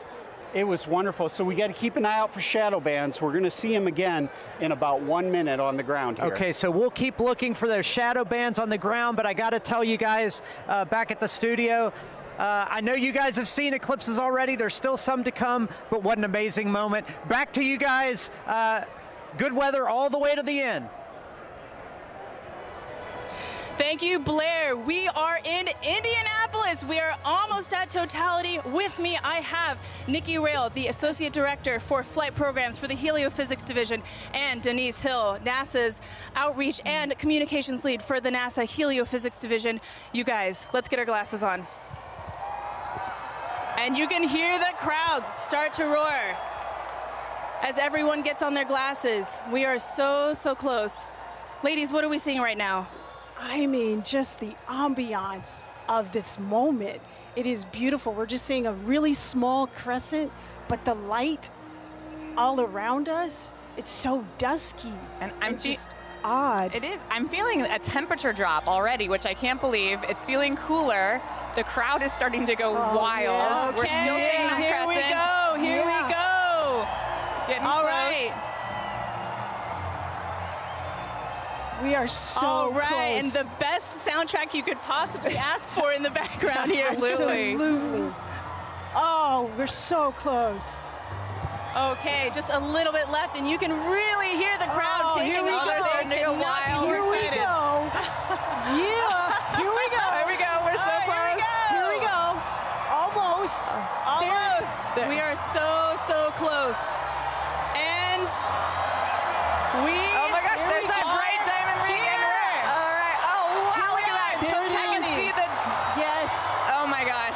can actually visualize the corona. I've always wanted to see that. Wow. Wow. Look at that. Fantastic. Oh my god, it's gorgeous. Oh That my gosh. absolutely An incredible sight. And dark. Wow. Wow. Look at how dark it is. Oh my gosh. And you can really see those streamers coming out right now. I'm seeing some bright, bright lights around where we're seeing cratering, and I can see those streamers coming out of the corona. And are those Baily's beads? Are we seeing any we're Baily's seeing. beads? We were seeing some Baily's beads. They're transitioning out a little bit, but yes, those bright light where the sunlight is shining through craters on the moon, mountains Wow. and craters. And look at those streamers of the corona. Holy it is putting on a show. moly. And it is dark. Holy moly. It is, It is- dark. I gotta take a peek at the crowd right now. Oh, look at the crowd. Oh the crowd gosh. is Oh absolutely gosh. going wild. Everyone's got their phone out. It is now safe to look at the eclipse without your glasses. Wow. What an amazing sight. Folks, we've got four minutes here, a little under four minutes to enjoy this. Wow. And if you were uh, in a, an open field right now, you'd be able to see a sunset, a 360 degree sunset all around us. Yes, And you I can, see a can little bit of see that You it. now. can see the light around us a little bit. Yes. I have to say, this is my first total eclipse, Denise. This is my yeah. first total solar Incredible eclipse. to see it. Totality. Wow. This is a bucket list moment for It me. really This is is. incredible. Really a once in a lifetime, unless you're an eclipse chaser, which I'm considering it. I might I'm become one after considering this. it. I quit my job. Wow, Oh my fantastic. gosh. Oh we my spent so long trying to see that corona and to see it with my eyes. Yes. Your own eyes. Wow, just gorgeous. I'm just in Oh, awe of like yes. being this person on this rock moving around the sun. Yes. I can't even believe it right now. Yeah, and to share this moment together with 50, 60,000 people all looking up at the moon and the sun all at once. It's just an incredible experience for all the folks here in Indy and for all the folks watching. I, I hope you can take, you know, the, the amazing energy um, and excitement from this crowd. What a special moment for the United States. Oh my gosh, did you hear that? Look at this and everybody. Oh, there oh we my go, the crowds. Wow. Wow. Okay, so I, I think we're seeing. Yep, those beautiful The corona is just putting on such a show right now. It's got my full attention. Wow. That's all I can watch. Holy cow. We've got some so some some very um, appropriate music on, going on in the background Yes. here. This is the best version of getting mooned that I have ever experienced in my life. Don't strain your eyes. Oh, Wow. I am just in awe. There just Oh aren't the right words to describe this. I'm just noticing it feels so strange to me right now. Like I feel the hair on my arm standing up. I feel like it's nighttime and I'm what It am I doing? And, it was daytime. And actually, folks, we're starting to get some nighttime insects coming out. Uh, Yes, yes, we're buzzing starting to see lights. bugs. yeah, we are seeing bugs Yes. in light. It's hard to hear them over the crowd, The crowd. but I can definitely see them flying. Yes, I think the, the animals are a little bit confused. Nikki, while I have you, you know, we've got a lot of programs at NASA looking at the sun. No eclipse glasses required. As the Associate Director of Flight Programs, tell me, what can we expect NASA to be sending to the sun in the few in next Well, few years? We are so lucky in the midst of this incredible time of Solar Max. We're getting ready to. Oh, s- the oh, I'm seeing a diamond diamond ring right now. The diamond ring. Diamond ring. Take a look. Take a look. Put your glasses back on. Be safe. That is the diamond ring, folks. Wow, spectacular. Oh my oh gosh. You can even hear fireworks in the distance. Yes. Oh my gosh. And the light is already oh, starting Oh, to wow. change. It really is. You can Wow. and the Yes. crowds Getting are fired up. loving You it. can hear the crowd just oh loving my every second of gosh. it. Oh, what a moment. I love those fireworks. That Indi- Indianapolis is really pulling out all of the stops, and we love them for it. I also want to take a moment here to thank our two telescope operators, John and Dana, who have been providing these telescope views for us Wow. there from Ball State University. Thank you very much to John and Dana. All right. It's like somebody flipped the lights back on. I, It really is like a so sudden switch flip. This is so crazy. And I can feel it warming up already. Yes. Wow. This is so amazing. Incredible. Well, this is an incredible, incredible moment and an incredible, incredible moment for the Helio Big Year. Ladies, thank you so much for joining us. This has been fantastic. Ah, thank, you for, for sharing. having me and sharing I'm this. so amazing- excited to be here and to see this incredible sight. Absolutely. Megan and Sarah, back to you. Oh, that was so fun to experience, and I can't wait for us to do it now. Take a look at this drone shot where you can see it definitely got noticeably darker. We feel it here, it's colder. The crowd is cheering now. They're ready for totality here in Cleveland, Ohio. We are about three, we are less than three minutes away, two minutes and 18 seconds away from totality here in Cleveland, Ohio. The crowd over here to our right really going feel the crazy, excitement. feeling the excitement. I'm ready for this. How are you? Yeah, it's super cool. It's all of a sudden it's really getting dark and you're starting to feel it. Yeah, So cool. It's like they just dimmed it out. Now it's like night. This happened within the last like couple of seconds. But let's take a look around because obviously we're not the only ones enjoying uh, the total solar eclipse today. We have some watch, uh, uh, we have some eclipse viewing events that we've seen around the country. So why don't we take a look at some of those? Wow. Oh my gosh. so this so is cool. Times Square. That's the NASDAQ Tower. And they are taking our feed live right now. And we're seeing awesome. Cleveland, Ohio sun. They're only going to get a partial eclipse today, but they get to watch our eclipse with us. so. Yeah, I'm really glad that they can do that. Wow, look, that sliver of a crescent just left. It's actually perfect on that building. It's the, beautiful. the shape of that building, right? And we can see some people in the foreground taking a look, stopping to watch. It's hard to stop in Times Square, right? But they're stopping to take a look at this with us. Beautiful.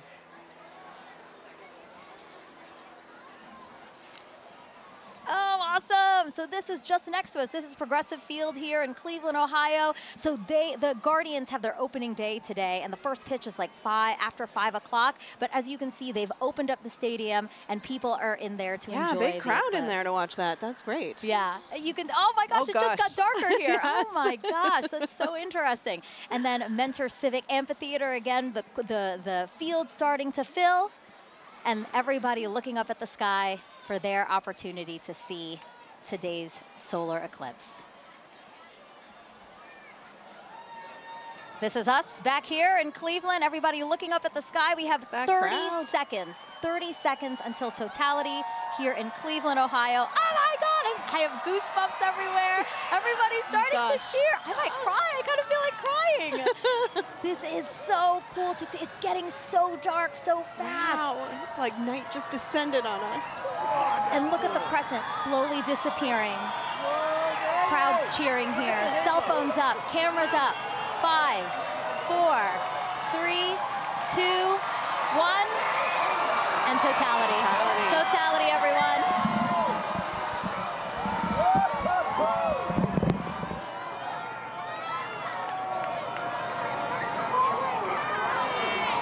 Oh my God! Oh, wow. Oh, my God. I was so nervous. Wow, I know I wasn't sure because we had some high clouds, but oh my goodness, you can totally you can see the, that corona extending out. Oh wow. Yeah, the clouds were really bothering me and really scaring me. did get very cloudy here in the last hour and a half, but we have a great view That's here in. Cleveland, Ohio. Yes. Wow, Wow, look, at the this. corona. You can hear the crowd. Wow, everybody's got their phones out. Oh my gosh. You know, I saw pictures of what the shape of the corona might look like from, from our NASA scientists, and, and it looks exactly like they predicted. Oh my gosh. Oh, and you can oh, see Jupiter oh, and Venus. Oh, yeah, look at that. So Jupiter's to the upper left of, of the eclipse that we're watching, and just to the right of it is Venus. Venus, yes. Oh, and I see some of those pink protuberances we've been talking about all day. Wow. Beautiful. And again, all around us you see light, but just at Yeah, the top like a- where we like are. 360 sunset. Exactly, Yeah. exactly. Yes, uh, Indianapolis had described that as well.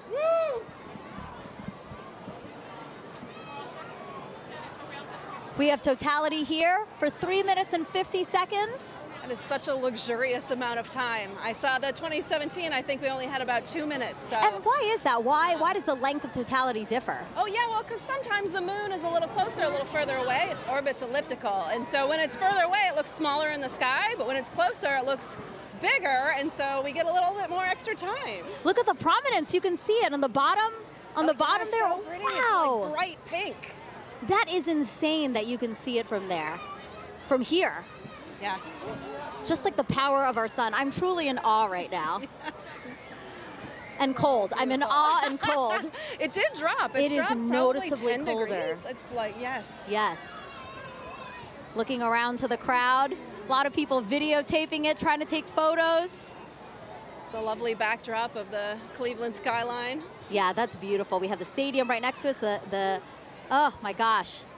And again, thanking the Great Lakes Science Center and NASA for hosting this event here in downtown Cleveland, Ohio. And it's great to like sort of join humanity to all come together at once and experience this together with such a great. Oh, look at the screen right now. Here's a shot of the skyline. Oh, wow, the sky looks on fire.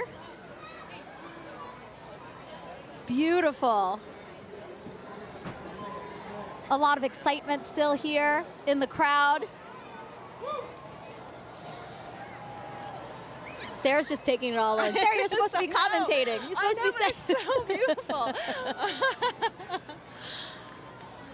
So you can tell that we have some cloud cover, right? It's kind of hazy here, but still. It is, yeah, some high clouds. I was worried about it, but like you, we can still really see, have a pretty good view here.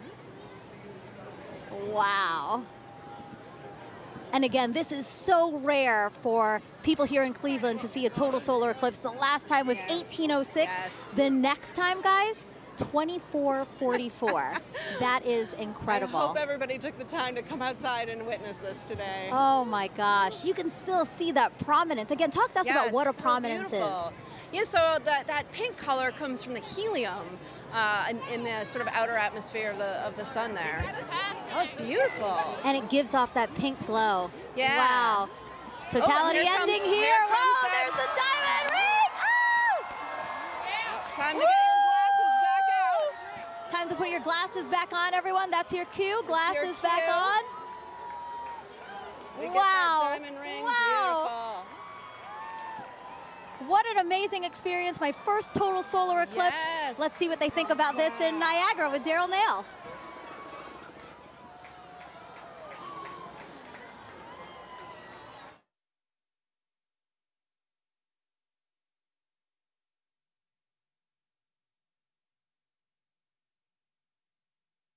Over the entire area. You can hear the crowd erupting at various moments when the eclipse has been seen, but we are under pretty cloudy conditions, and David Sheeny is with us.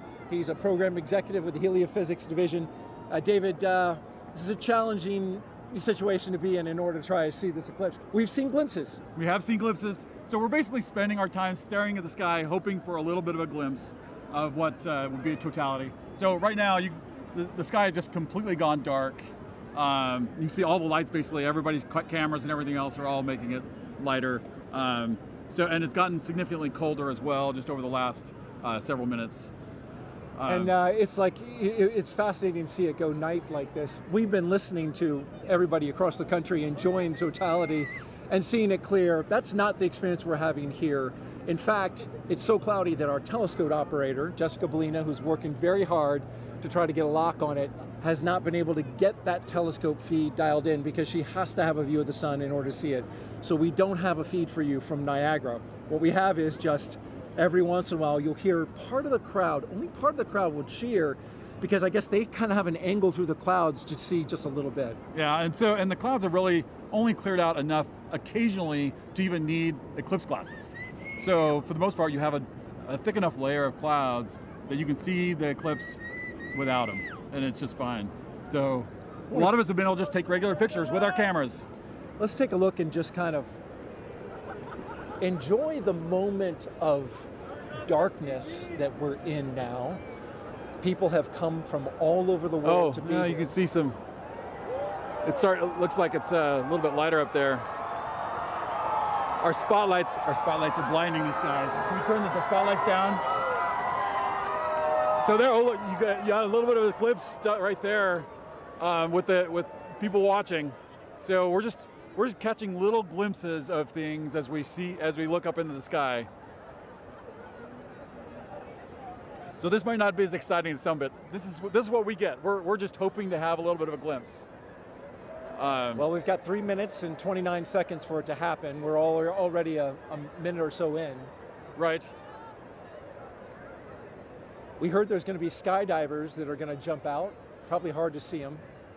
Yeah, I don't know that we'll get to see the skydivers.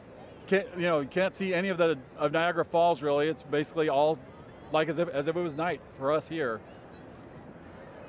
You can start to see some of the light come in from the other side. So we're taking now a view of Tupper Lake, New York. That's uh. Oh, look, there you go. Oh, hey, got, got a totality shot. right there. We got a We're getting totality right now that we can There see. it is. It's like got- we just got a really There nice clear spot right there. so wow, got A a little bit of hole through the clouds. clouds so everybody could see. just opened up. And now uh, that was the roar from the crowd that you just heard. And just as soon as it showed, So yeah, we're, we're continuing to watch the totality that we're getting right now. You can see a little bit of hint on the side as it's go, as it's shining through. well, there it ducked down. Yep. Jessica, So here we go. We have another view, a little bit, another, another little Were you able to view right here No. as it's starting to peek out around. Oh, there it is. So we're getting starting to peek out just around right there. Yep. Well, totality is complete. Yeah.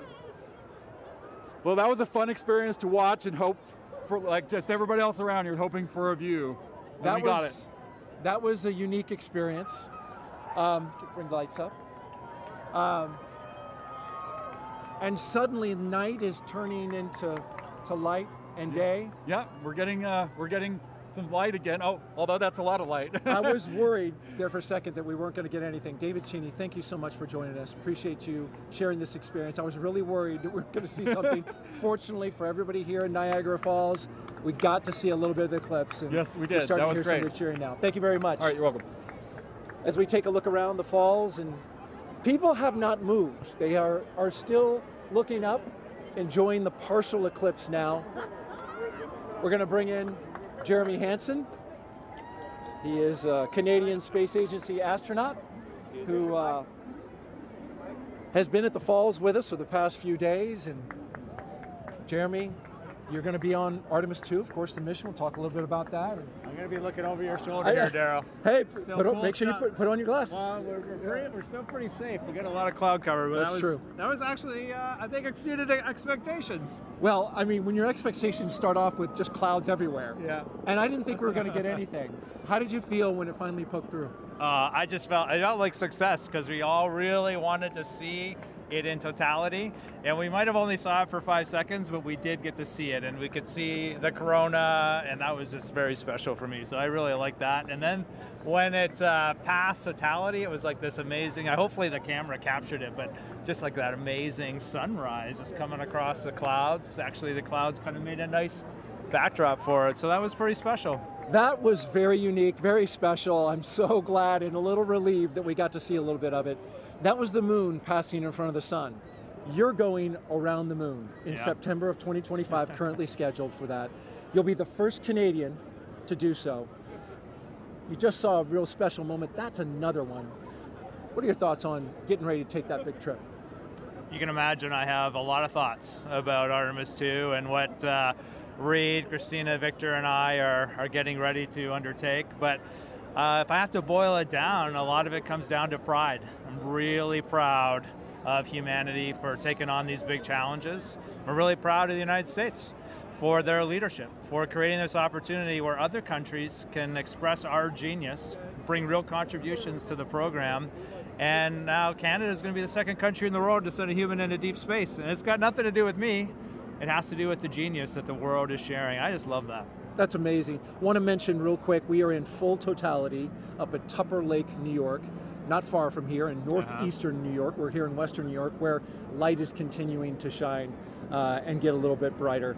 It really is special, and we uh, we really felt that in the four days that you were here interacting with the public. Yeah. Was that your sense? There's a, a lot of uh, excitement around this celestial event that's happening and around space exploration in general, which I find really uplifting. I don't think space exploration solves all the problems or challenges of the world, but I do believe it is one of the pillars of those solutions. Uh, it doesn't matter what problem you're looking at, space plays a role.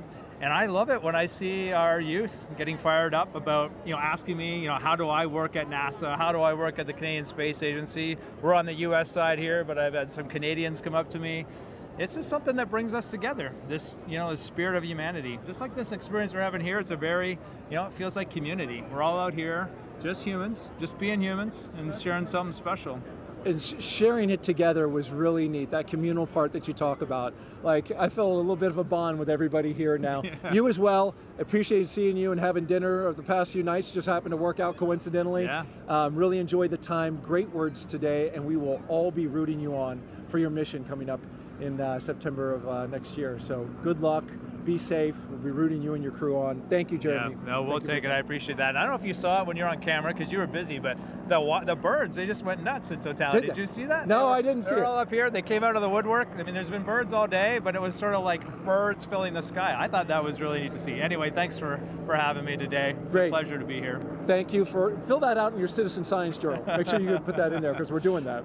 All right, thank you, Jeremy. And I just want to say thank you also to New York uh, state parks, Niagara Falls specifically. We couldn't have done this without you. So thank you very much. Definitely. We're going to throw it now to Kennedy Space Center where James Tralie is tracking totality at Tupper Lake. James?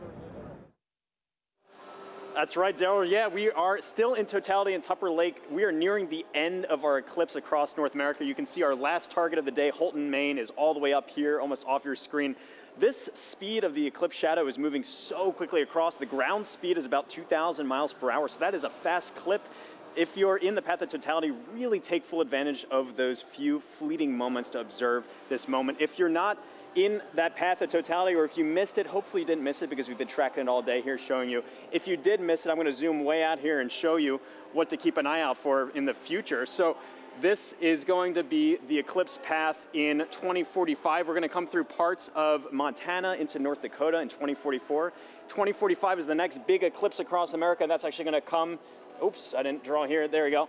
That's going to come all the way from California into parts of Florida there. That is in 2045, so a long time to wait. So really take full advantage of those fleeting moments to be able to observe this moment. I'm going to click on Burlington here, who are also in that path of totality, experiencing that right now too. So just an incredible moment to really see all of this. And Tupper Lake, again, they're still, I think, experiencing that last fleeting moment there that is just moving off. You can see that is officially now moved off Tupper Lake. Really a fantastic shot. They have that now, that diamond ring effect, that really beautiful shot there. This is again such a quick moment and this doesn't happen very often. It's really a once in a lifetime moment. So take full advantage of this. You can see just how close we are now to Houlton, Maine, who are our last stop of the day on our NASA coverage here. This is then going to continue on into parts of Canada and beyond. Houlton, Maine, they had some snow past couple days. It seems to have cleared up quite a bit more for them. Really hoping that that holds out for them. They are expecting a duration of three minutes and 20 seconds to be able to observe that totality at 332.05 local time. Really excited to see that view. You see that shadow creeping so quickly up to them up there. So let's check in with Angelique, who is up there in Houlton, Maine. Hopefully it's beautiful weather for you. How's it looking up there, Angelique? James, it, James, it is looking awesome up here. We are just a few minutes away from totality. Can hear people announcing it in the back, and people are getting excited, as am I. And here to share in all of that excitement with us is actually Dr. Eric Smith, the program scientist for the James Webb Space Telescope. Eric, it's so great to have you here. Oh, it's great to be here, Angelique. this is really exciting.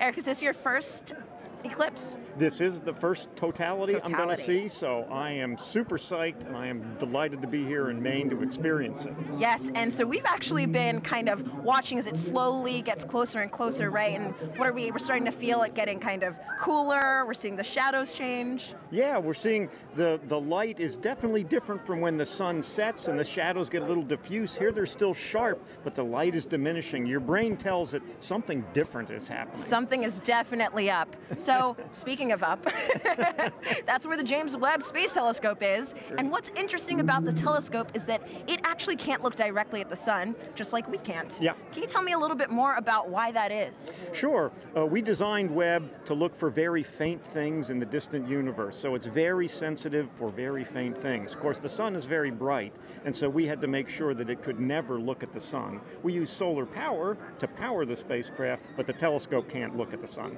That makes a lot of sense. now, as it's starting to get a little bit closer to all of the cool phenomenon, the Baily's beads, Yeah. the diamond, let's go ahead and put on our glasses. All right. So that we can we can look up and continue chatting. Oh, wow. Oh, just a little tiny Just just a little bit left. That is incredible. Wow. So, Eric, I have a Yeah. couple more questions for you. Another Okay. thing that I was wondering about is how we can use actually eclipses to study exoplanets, which are planets outside of our solar system, um, using, I think, the transit method. Is that what that's called? Yeah, right now during an eclipse, the moon. Sorry, you can hear everybody getting excited. We're getting very close to totality here. the, the moon is transiting in front of the sun just the way planets uh, that orbit around other stars transit in front of the star. So Webb can look at those exoplanets and use the transit just like we're staring up at the moon transiting the sun. Gotcha. And so a transit is, like you said, literally just when something crosses in front of something else. That is. That's right, transit. yeah. Okay. Very cool.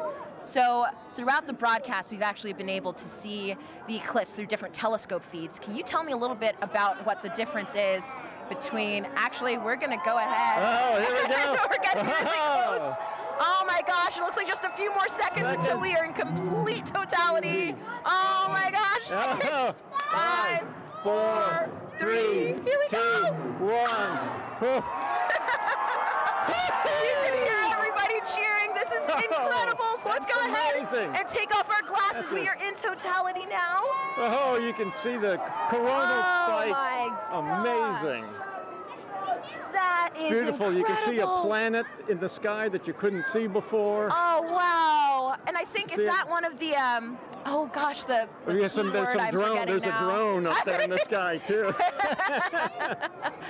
Oh my goodness! Oh, wow. It's incredible the rays that you can kind of just see coming off of the corona. Yes.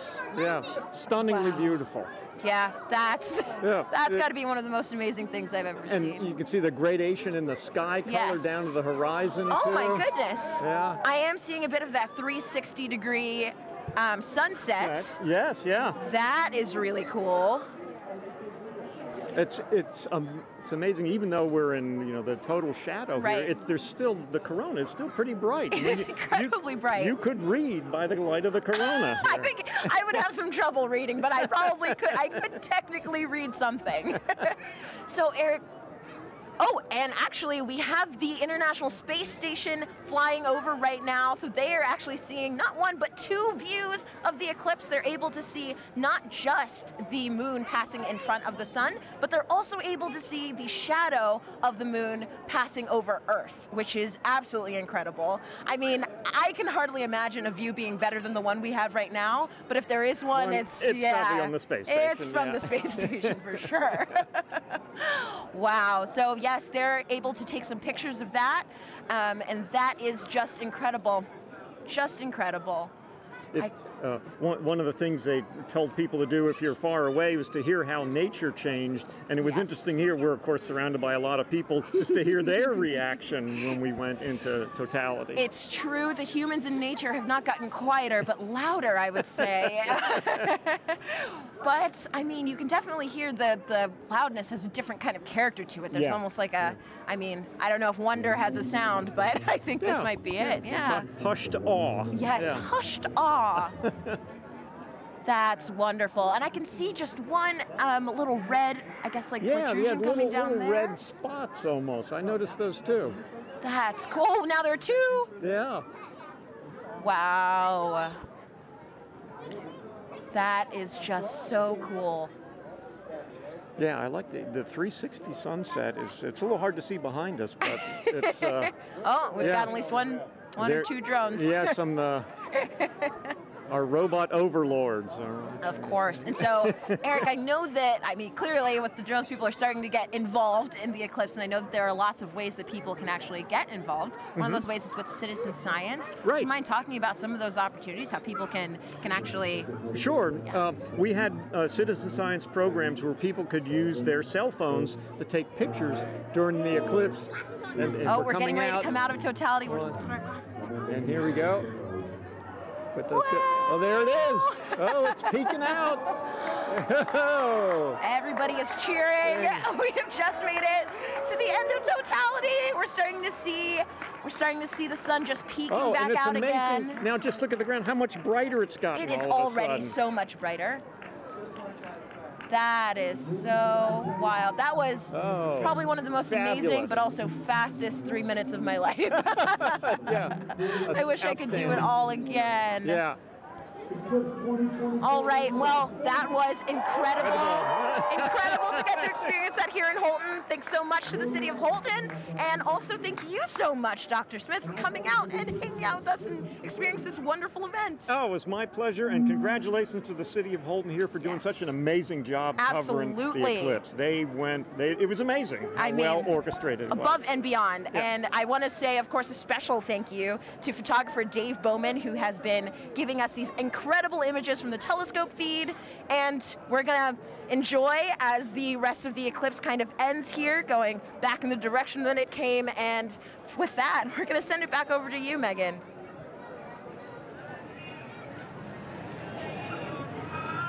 All righty. Thanks, Angelique. So, Gina, I mean, what do you think? Like, It's we literally have just watched the eclipse travel, what, about 2,600 miles? going across the Mexico to Maine. Yes. In like, what, about 88 minutes? That's right. It's so fast. That 1900 miles per hour that the shadow's traveling. I mean, did you have a favorite location? Uh, for me, I think it between Russellville and Dallas, just getting to hear some of my colleagues and their Right? excitement Take too it was amazing. Oh my goodness. Yeah. Yeah, no. So, mm, I don't know. I have to be a little bit biased. We did have some cloud cover here. We did. But to see it with your real eyes was just. And we had that moment, which was We did, important, yes. Ah, it was amazing. And so it's really cool, too, just to think about how millions of us now have this shared moment of what could be a once in a lifetime event. It's true. And so, folks, we have time for some more questions from our viewers. Um, and again, we have another great question from Mackenzie, who's in the third grade. Okay. Let's roll it now.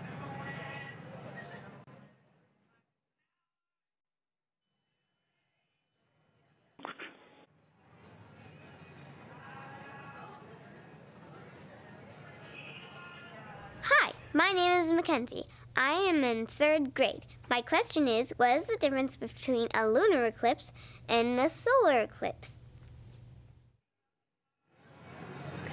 Thank you for that question, Mackenzie. Okay, let's talk about the difference between the eclipses. Now, the solar eclipse that we had today is when the moon crosses between the Earth and the Sun. But we also get lunar eclipses, and a lunar eclipse occurs when the Earth crosses between the moon and the Sun. So it's really about where the shadow's going. Today we have the moon shadow projecting on the Earth. During a lunar eclipse, we have the Earth shadow projecting onto the moon. So that's the main difference there. That we just saw, too, those incredible views from space, That's you right, know, to see that station. second perspective view. And Yeah. so I've got another question for you right now. It's going to be Eli on Reddit. Who says, who wants to know, there are quite a few solar eclipses in the world every few years. So why is this one sci uh, scientifically interesting? Okay. So yeah, we do get solar eclipses and lunar Mhm. eclipses maybe two to three times a year. However, the total eclipse that happens today, total eclipses are about every one and a half years. And that is a rare opportunity for us to look at the corona, study the corona in a way that we can't do during the other types of solar eclipses that we have. So And during a solar maximum. Exactly, during the solar maximum. So for this one particular, you know, we were talking about the solar activity that we were Yeah. seeing on the limbs during the totality. Uh, yeah, there's just a bunch going on today for this eclipse.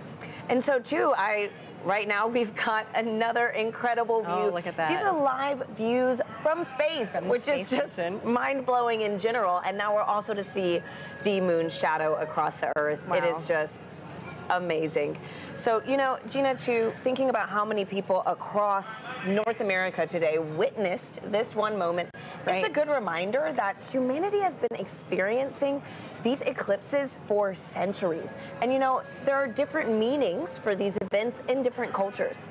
Let's check in with Joy in Dallas to learn more about indigenous astronomy. Joy. Hi, and welcome back to Dallas, Texas. I'm with Dr. David Begay. He's an indigenous astronomer and also a member of the Navajo Nation. David, thank you so much for joining us. So, when people think about science, they might be thinking of Western science. So, David, how does that relate to indigenous science, and what did the total eclipse mean to the Navajo people? I think the knowledge on the eclipse goes way back from time immemorial, I'm told by my elders. And uh, they knew that uh, when you look at the sun directly, uh, you can damage your eyes permanently. And so they knew that about the danger of looking at the eclipse with the naked eye.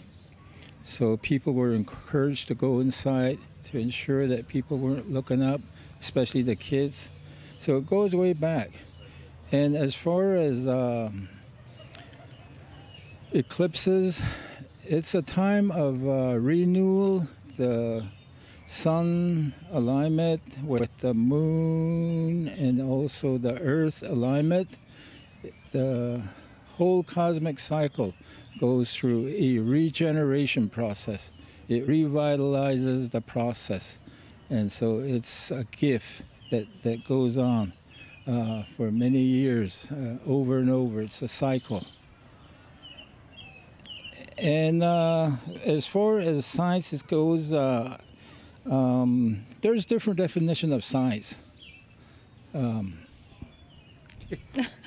Thank you, David. Maybe we can cover Yeah. Thank you. It's been an it's been an honor chatting with you. Uh-huh. So, thank you to everyone here for joining us. Thank you for that Arboretum for hosting us uh, for this very very magical moment. This has been uh, an experience of a lifetime and one that I definitely won't forget. So let's head back to Tahira and Gina in Kerrville, Texas. Thanks, Joy. We're joined now by Jamie Favors, the director of NASA's Space Weather Program, to tell us more about some cool science that launched today during the eclipse. Welcome, Jamie. Thanks, Tahira. Hey, Thanks, Jamie. Hey, how are you? Good. And so, can you tell us why did NASA launch rockets before, during, and after the eclipse today? Sure. So it's really to capitalize on this really unique situation. You know, things like this happen every day. You know, going from daylight to you know sunset mm-hmm. into you know darkness. But it happens so quickly that we can make these measurements one right after the next to really understand very precisely what's going on in the atmosphere. With sounding rockets, we can do that so quick back to back, the way we can't do with some of the really large rockets. Okay, so Jamie, how high did the rockets actually go, and what's special about this area of the atmosphere? Sure, and we just launched the second of those three uh, just a few moments ago, and that's Oh, going pretty well so far. These, these particular rockets are getting about 250 miles above the surface, pretty close to right about where the International Space Station flies. And before you ask, everything's safe, everything's, we take care of the. And it looks like we've got a playback of that Okay. right now. Oh, wow. Perfect. Can you Yeah, walk so- us through this? Sure. So from uh, Wallops Island out in Virginia on the Virginia Space Coast. So these rockets have multiple stages to them. So you're seeing one stage burn for a few seconds, then that drops off, and then the next stage will light to eventually take it all the way up to about that 250 mile mark above the surface to make those measurements in the upper atmosphere. Wow, that looks incredible. Yeah. Oh my gosh. Okay, and so what is that area of the atmosphere, and why do we care about it? Yes, it's the upper part of our atmosphere. It's called the ionosphere. That's really from a perspective of heliophysics where we really see a lot of that interaction with the sun and the earth. We care about it because that interaction can change the way our GPS signals work, our communication signals work, and even up a little bit higher, we start to see the influence of the sun actually causing the atmosphere to change its density in a way that hmm. can impact the way satellites orbit the Earth as well. Sure. Okay. Great. And so, Jimmy, today we've been doing this fun poll, you know, to Okay. see who is Team Sun, Moon, and Earth. What team are you repping today? Uh, well, other than Team Science, oh, don't, make, don't choose the wrong answer. I, I well, my bosses would make sure I go for uh, Team Sun today for sure. Oh man, okay. Yeah. Well, thank you so much again. Thanks, Jamie. And folks, it is time now to say goodbye to our friend, James Tralie, who has made sure we've known where and when to look up all day. James, thank you. Yeah, thanks so much Tahira. It's been fantastic tracking this eclipse across North America all afternoon with you. If you're still in the path of totality, you might be in a boat somewhere off the Canadian coast taking this all in. I hope you enjoy that view, that fleeting moment. We've made a, a big journey across. I can zoom out here on our uh, eclipse board. You can see we started all the way down here in Mazatlan, Mexico. We've trekked all the way across and are now, like I said, breezing past Canada now into the Atlantic Ocean. It's been fantastic to track this. And if I turn on the shadow of our penumbra, you can see this highlighted area. Anywhere in there is still experiencing a partial eclipse. So if you're in that uh, partial eclipse area, be sure to have your eclipse glasses at the ready so you can take in that fleeting moment. We just went outside a few moments ago here at Kennedy Space Center to take it in. It's fantastic, beautiful view. It's really cool to see. You got like a little chunk out of the uh, the sun there for us here, only about 50% coverage, but still fantastic to see. So really, it's been phenomenal. We've lucked out in general with the weather all of today too. That was the biggest concern I had going into the day here. It's been beautiful views up and down here, and so really fantastic to see this. Really been a lot of fun tracking this with our Eclipse Explorer. A big thanks again to our scientific visualization studio for putting this tool together. But for now, back to you, Tahira. And here with us now is NASA Chief Scientist Dr. Kate Calvin. Kate, welcome. Hi, Kate. Hi, nice to be here. So happy to have you back here again. I know we had the pleasure of sharing the stage together for the annular That's eclipse. right. Now, with today's total solar eclipse, can you tell our viewers what would you say is the number one takeaway from today's events? I would say the number one takeaway is that our universe is beautiful and understandable. We all got to experience this together today. I love We could this, predict when it would happen, and we did a lot of science today. That's great. So speaking of the science that was conducted, you know, how does that fold into kind of the greater science that we're doing with NASA in the future? Yeah, so we did a lot of science today, and a lot of it really complements science that we do all of the time. So one of the things we were really looking at today was the corona. The moon blocked out the sun so that we could see that part of the sun's atmosphere. But we also have a mission called Parker Solar Probe that's um, orbiting closer and closer to the sun so that we can study the corona with that. We were also looking a lot at how the eclipse affect, affected Earth. So we had a citizen science project that looked at how the eclipse changed temperatures and clouds. We have a mission that launched two months ago that's studying clouds all the time, a mission called PACE. It'll tell us more about um, um, oceans and atmosphere on, on here on Earth. And one of the other things we do is we develop instruments called a coronagraph. So mm-hmm. the moon blocked out the sun today so that we could see that corona, but we can make an instrument that does that. And so we have an upcoming mission called Nancy Grace Roman that's going to block out the light of other stars so we can see what's flying in here around them. Amazing. So much going on for the sun at NASA, honestly. And you know, I understand that the Heliophysics Division has a big sun celebration going on right now, the Heliophysics Big Year. Kate, could you tell us how we could get involved in this and really just celebrate our star? Yeah, this total solar eclipse was just one event in a series of this heliophysics big year, working towards Parker Solar Probe's closest approach to the sun. And we have a lot of activities where you can engage in our science and learn more about the sun. And if you want to know more, you can find us on social media at, at NASA Sun. Fantastic. Thank you so much, Kate, for being here with us. It was really special to share this moment with you. Thanks, Kate. It's nice to be here. And Gina, this has been an honor. I mean, my goodness, It like to have the annular eclipse with you, then to share this total solar eclipse with you. I know. Thank you so much. And do you have any final thoughts? You know, this was amazing. Annular was great, but to hear the energy here, The total was so just a whole with nother both level. of you. You know, Yeah. once again, thank you for having me. Absolutely. And you know, a big thank you to the city of Kerrville, Texas, the Parks and Rec team, and all the people that made today's incredible event possible. I also want to thank our telescope operator, operator Catherine Troach, for those great views of totality here in Kerrville. Folks, That is a wrap from Kerrville, Texas. Back to you in Cleveland. Thank you Tahira and Gina and also Kate Calvin. And now check out who we have here at the host desk, the Passtronaut himself, Josh Dobbs, who just signed on as quarterback for the 49ers. How do you feel about that? I feel good. I feel good. It's exciting times. Um, obviously, I spent a couple years here in Cleveland. Got a chance to have some fun over at NASA Glenn during my time here. So it's cool to be back and taking the Eclipse Fest here in Cleveland. But looking forward to the future in San Francisco. I know NASA's doing some great work out there on the West Coast, so we'll be able to stay tuned to that as well. Yeah, so for people who don't know, the Passtronaut nickname comes from some incredible plays you had last year, and also you have a background uh, here with us at NASA with some exter- uh, externships, but also uh, you're an aerospace engineer. So how did it feel being back here specifically in Cleveland to watch the total solar eclipse? It felt really good. You know, uh, when this event was put on my radar about a year ago in, in last offseason, they're like, hey, like the eclipse is coming straight through Cleveland. We'd love to have you here. It's going to be a once in a lifetime event to be able to experience it, especially right here on the beautiful Great Lakes, and obviously have some great weather today. So I marked on my calendar a year ago, and to make it back here um, and take it in, you know, and get a chance to hang out with, with the city I spent two years in, it's been great. I think like the biggest um, thing that I've enjoyed is just seeing the interest from the city of Cleveland and how many people traveled here to take in the event today, and to be able to then also go learn about the future of NASA and the future of space exploration as well at the same time. Um, it's a once in a lifetime opportunity to take it in, and it's been an honor to be here.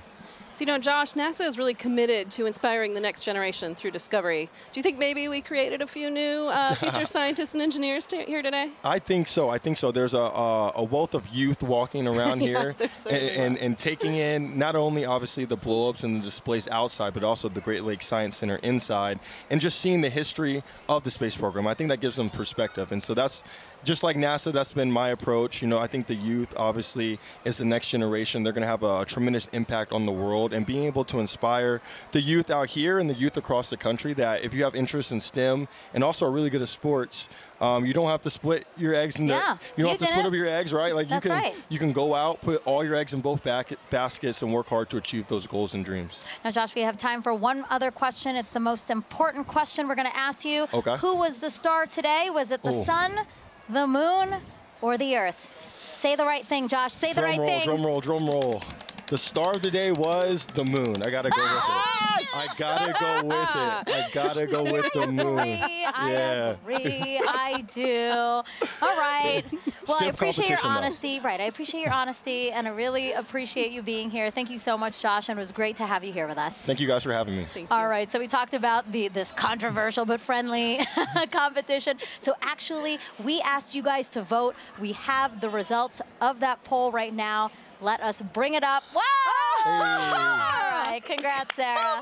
Congrats. Thank you. Team Earth, thank 26%. Team. Sun, 26% as well. But Team Moon, 48%. Congrats, Team Moon. Go today. Team Moon. All right, again, thank you to everyone who participated. We were the real winners of today, though, those who got a show. But we're going to send it back over to Indianapolis for another really important interview. Thanks, Megan. We are back here in Indianapolis. It has been an incredible day, and it is not over yet. With me, I have Jake Bleacher, the Chief Exploration Scientist for NASA. Jake, welcome. I, I could not be happier to be here. How was that eclipse for you, really quickly? That was amazing. It's getting warm again. I still have my fleece on from uh, when we were in totality. That was incredible. Well, today has been all about the eclipse, all about the sun's light. And I want to pivot a little bit here because you're getting astronauts ready to go back to the moon, live and work there for the first time in 50 years. How is how the sunlight shines on the moon also very crucial to what we're trying to do there? Yeah, well, just like this eclipse, it's the celestial dance between the sun, the earth, and the moon. And when we go to the moon, we'll actually have instances of eclipses where the earth will eclipse the sun. Wow. Uh, so it's something to think about. But uh, we're really uh, interested in the lighting in the South Pole. Our Artemis 3 mission will land astronauts at the South Pole.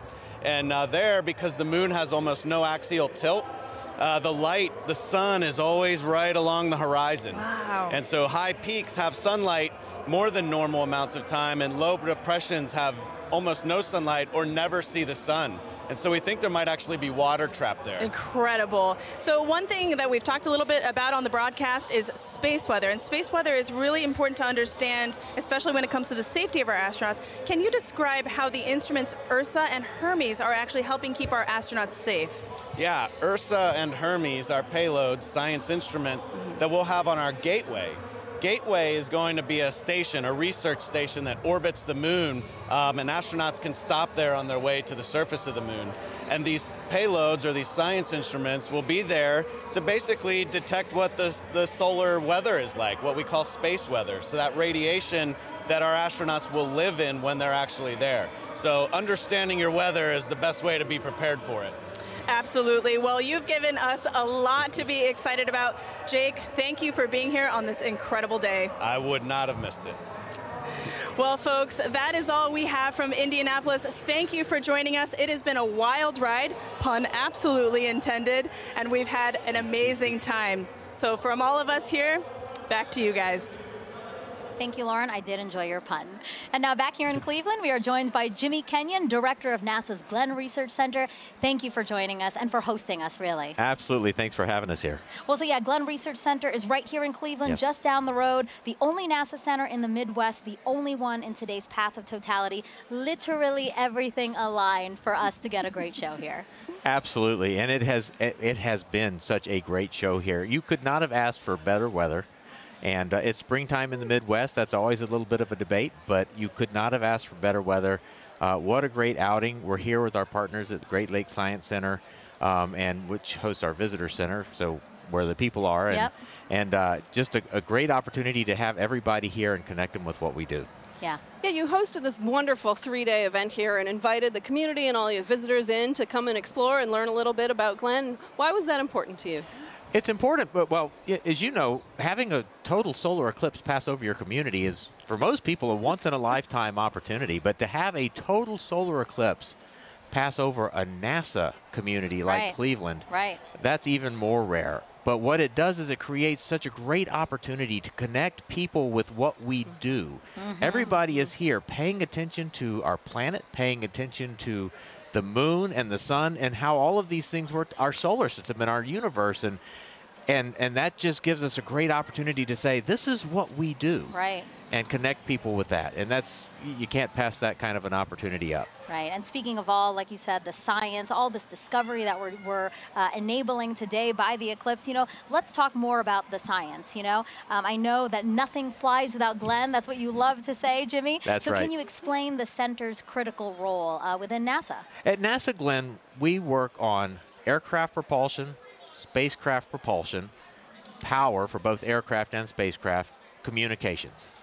Uh, we also work on materials and, and testing in extreme environments, but, but, but our core competencies of power, propulsion, communications. No aircraft and no spacecraft flies without those three things, and they never will. And so NASA, NASA Glenn is literally part of virtually every NASA mission. Well, Jimmy, thank you so much. I really appreciate you being here and again hosting us. This was a wonderful event. I know so many people joined us here and really enjoyed it because we were watching, we were looking out at the crowd, Yeah. lots of smiles. So, Yeah. really, thank you so much, you and the Great Lakes Science And Center. thank you for being here and being part of this with us and, and really putting putting NASA and NASA Glenn on the map here for us. Thank you, Thank Jimmy. you. Thanks Thank so you. much. Have a great day. All right, and a big thank you to our whole team positioned across the path, from our correspondents to our experts and our telescope operators. We couldn't have done it without all of you. And Sarah, as we're taking again this aerial shot of the Great Lakes Science Center, so beautiful. Such a wonderful way to experience my first total solar eclipse. And I hope you had a good time too, because I know this isn't your first total solar eclipse. No, this is my second, but it was really great and special to, to be able to experience it with you and, and all the folks here. Yeah, we did notice that people right after the people were like, "Whoa!" They were trying to get out. There's a lot of really fun events happening in Cleveland, so there's a lot of people in downtown. So um, I hope that they took some time to look up today and really enjoy what they saw. Yeah, and not only all of the great views that we had, but we also really did some cool science today, too. Yeah, really, really cool science. And actually, yeah, let, let's talk about that. You know, NASA's uh, heliophysics big year isn't over yet. You know, we had the annular eclipse, then we had the solar eclipse, and now talk to us about what's happening in December. Yeah, coming up on, on Christmas Eve, in fact, Parker Solar Probe will make its closest approach to the sun, 3.9 million miles, which still seems like a long way to me, but apparently that's actually pretty close. Yeah, yeah, I can't believe that's happening. Again, just that it's all, we've been saying this all day, aligning. Everything is aligning for us to have a beautiful show. And so, yeah, you know, Sarah,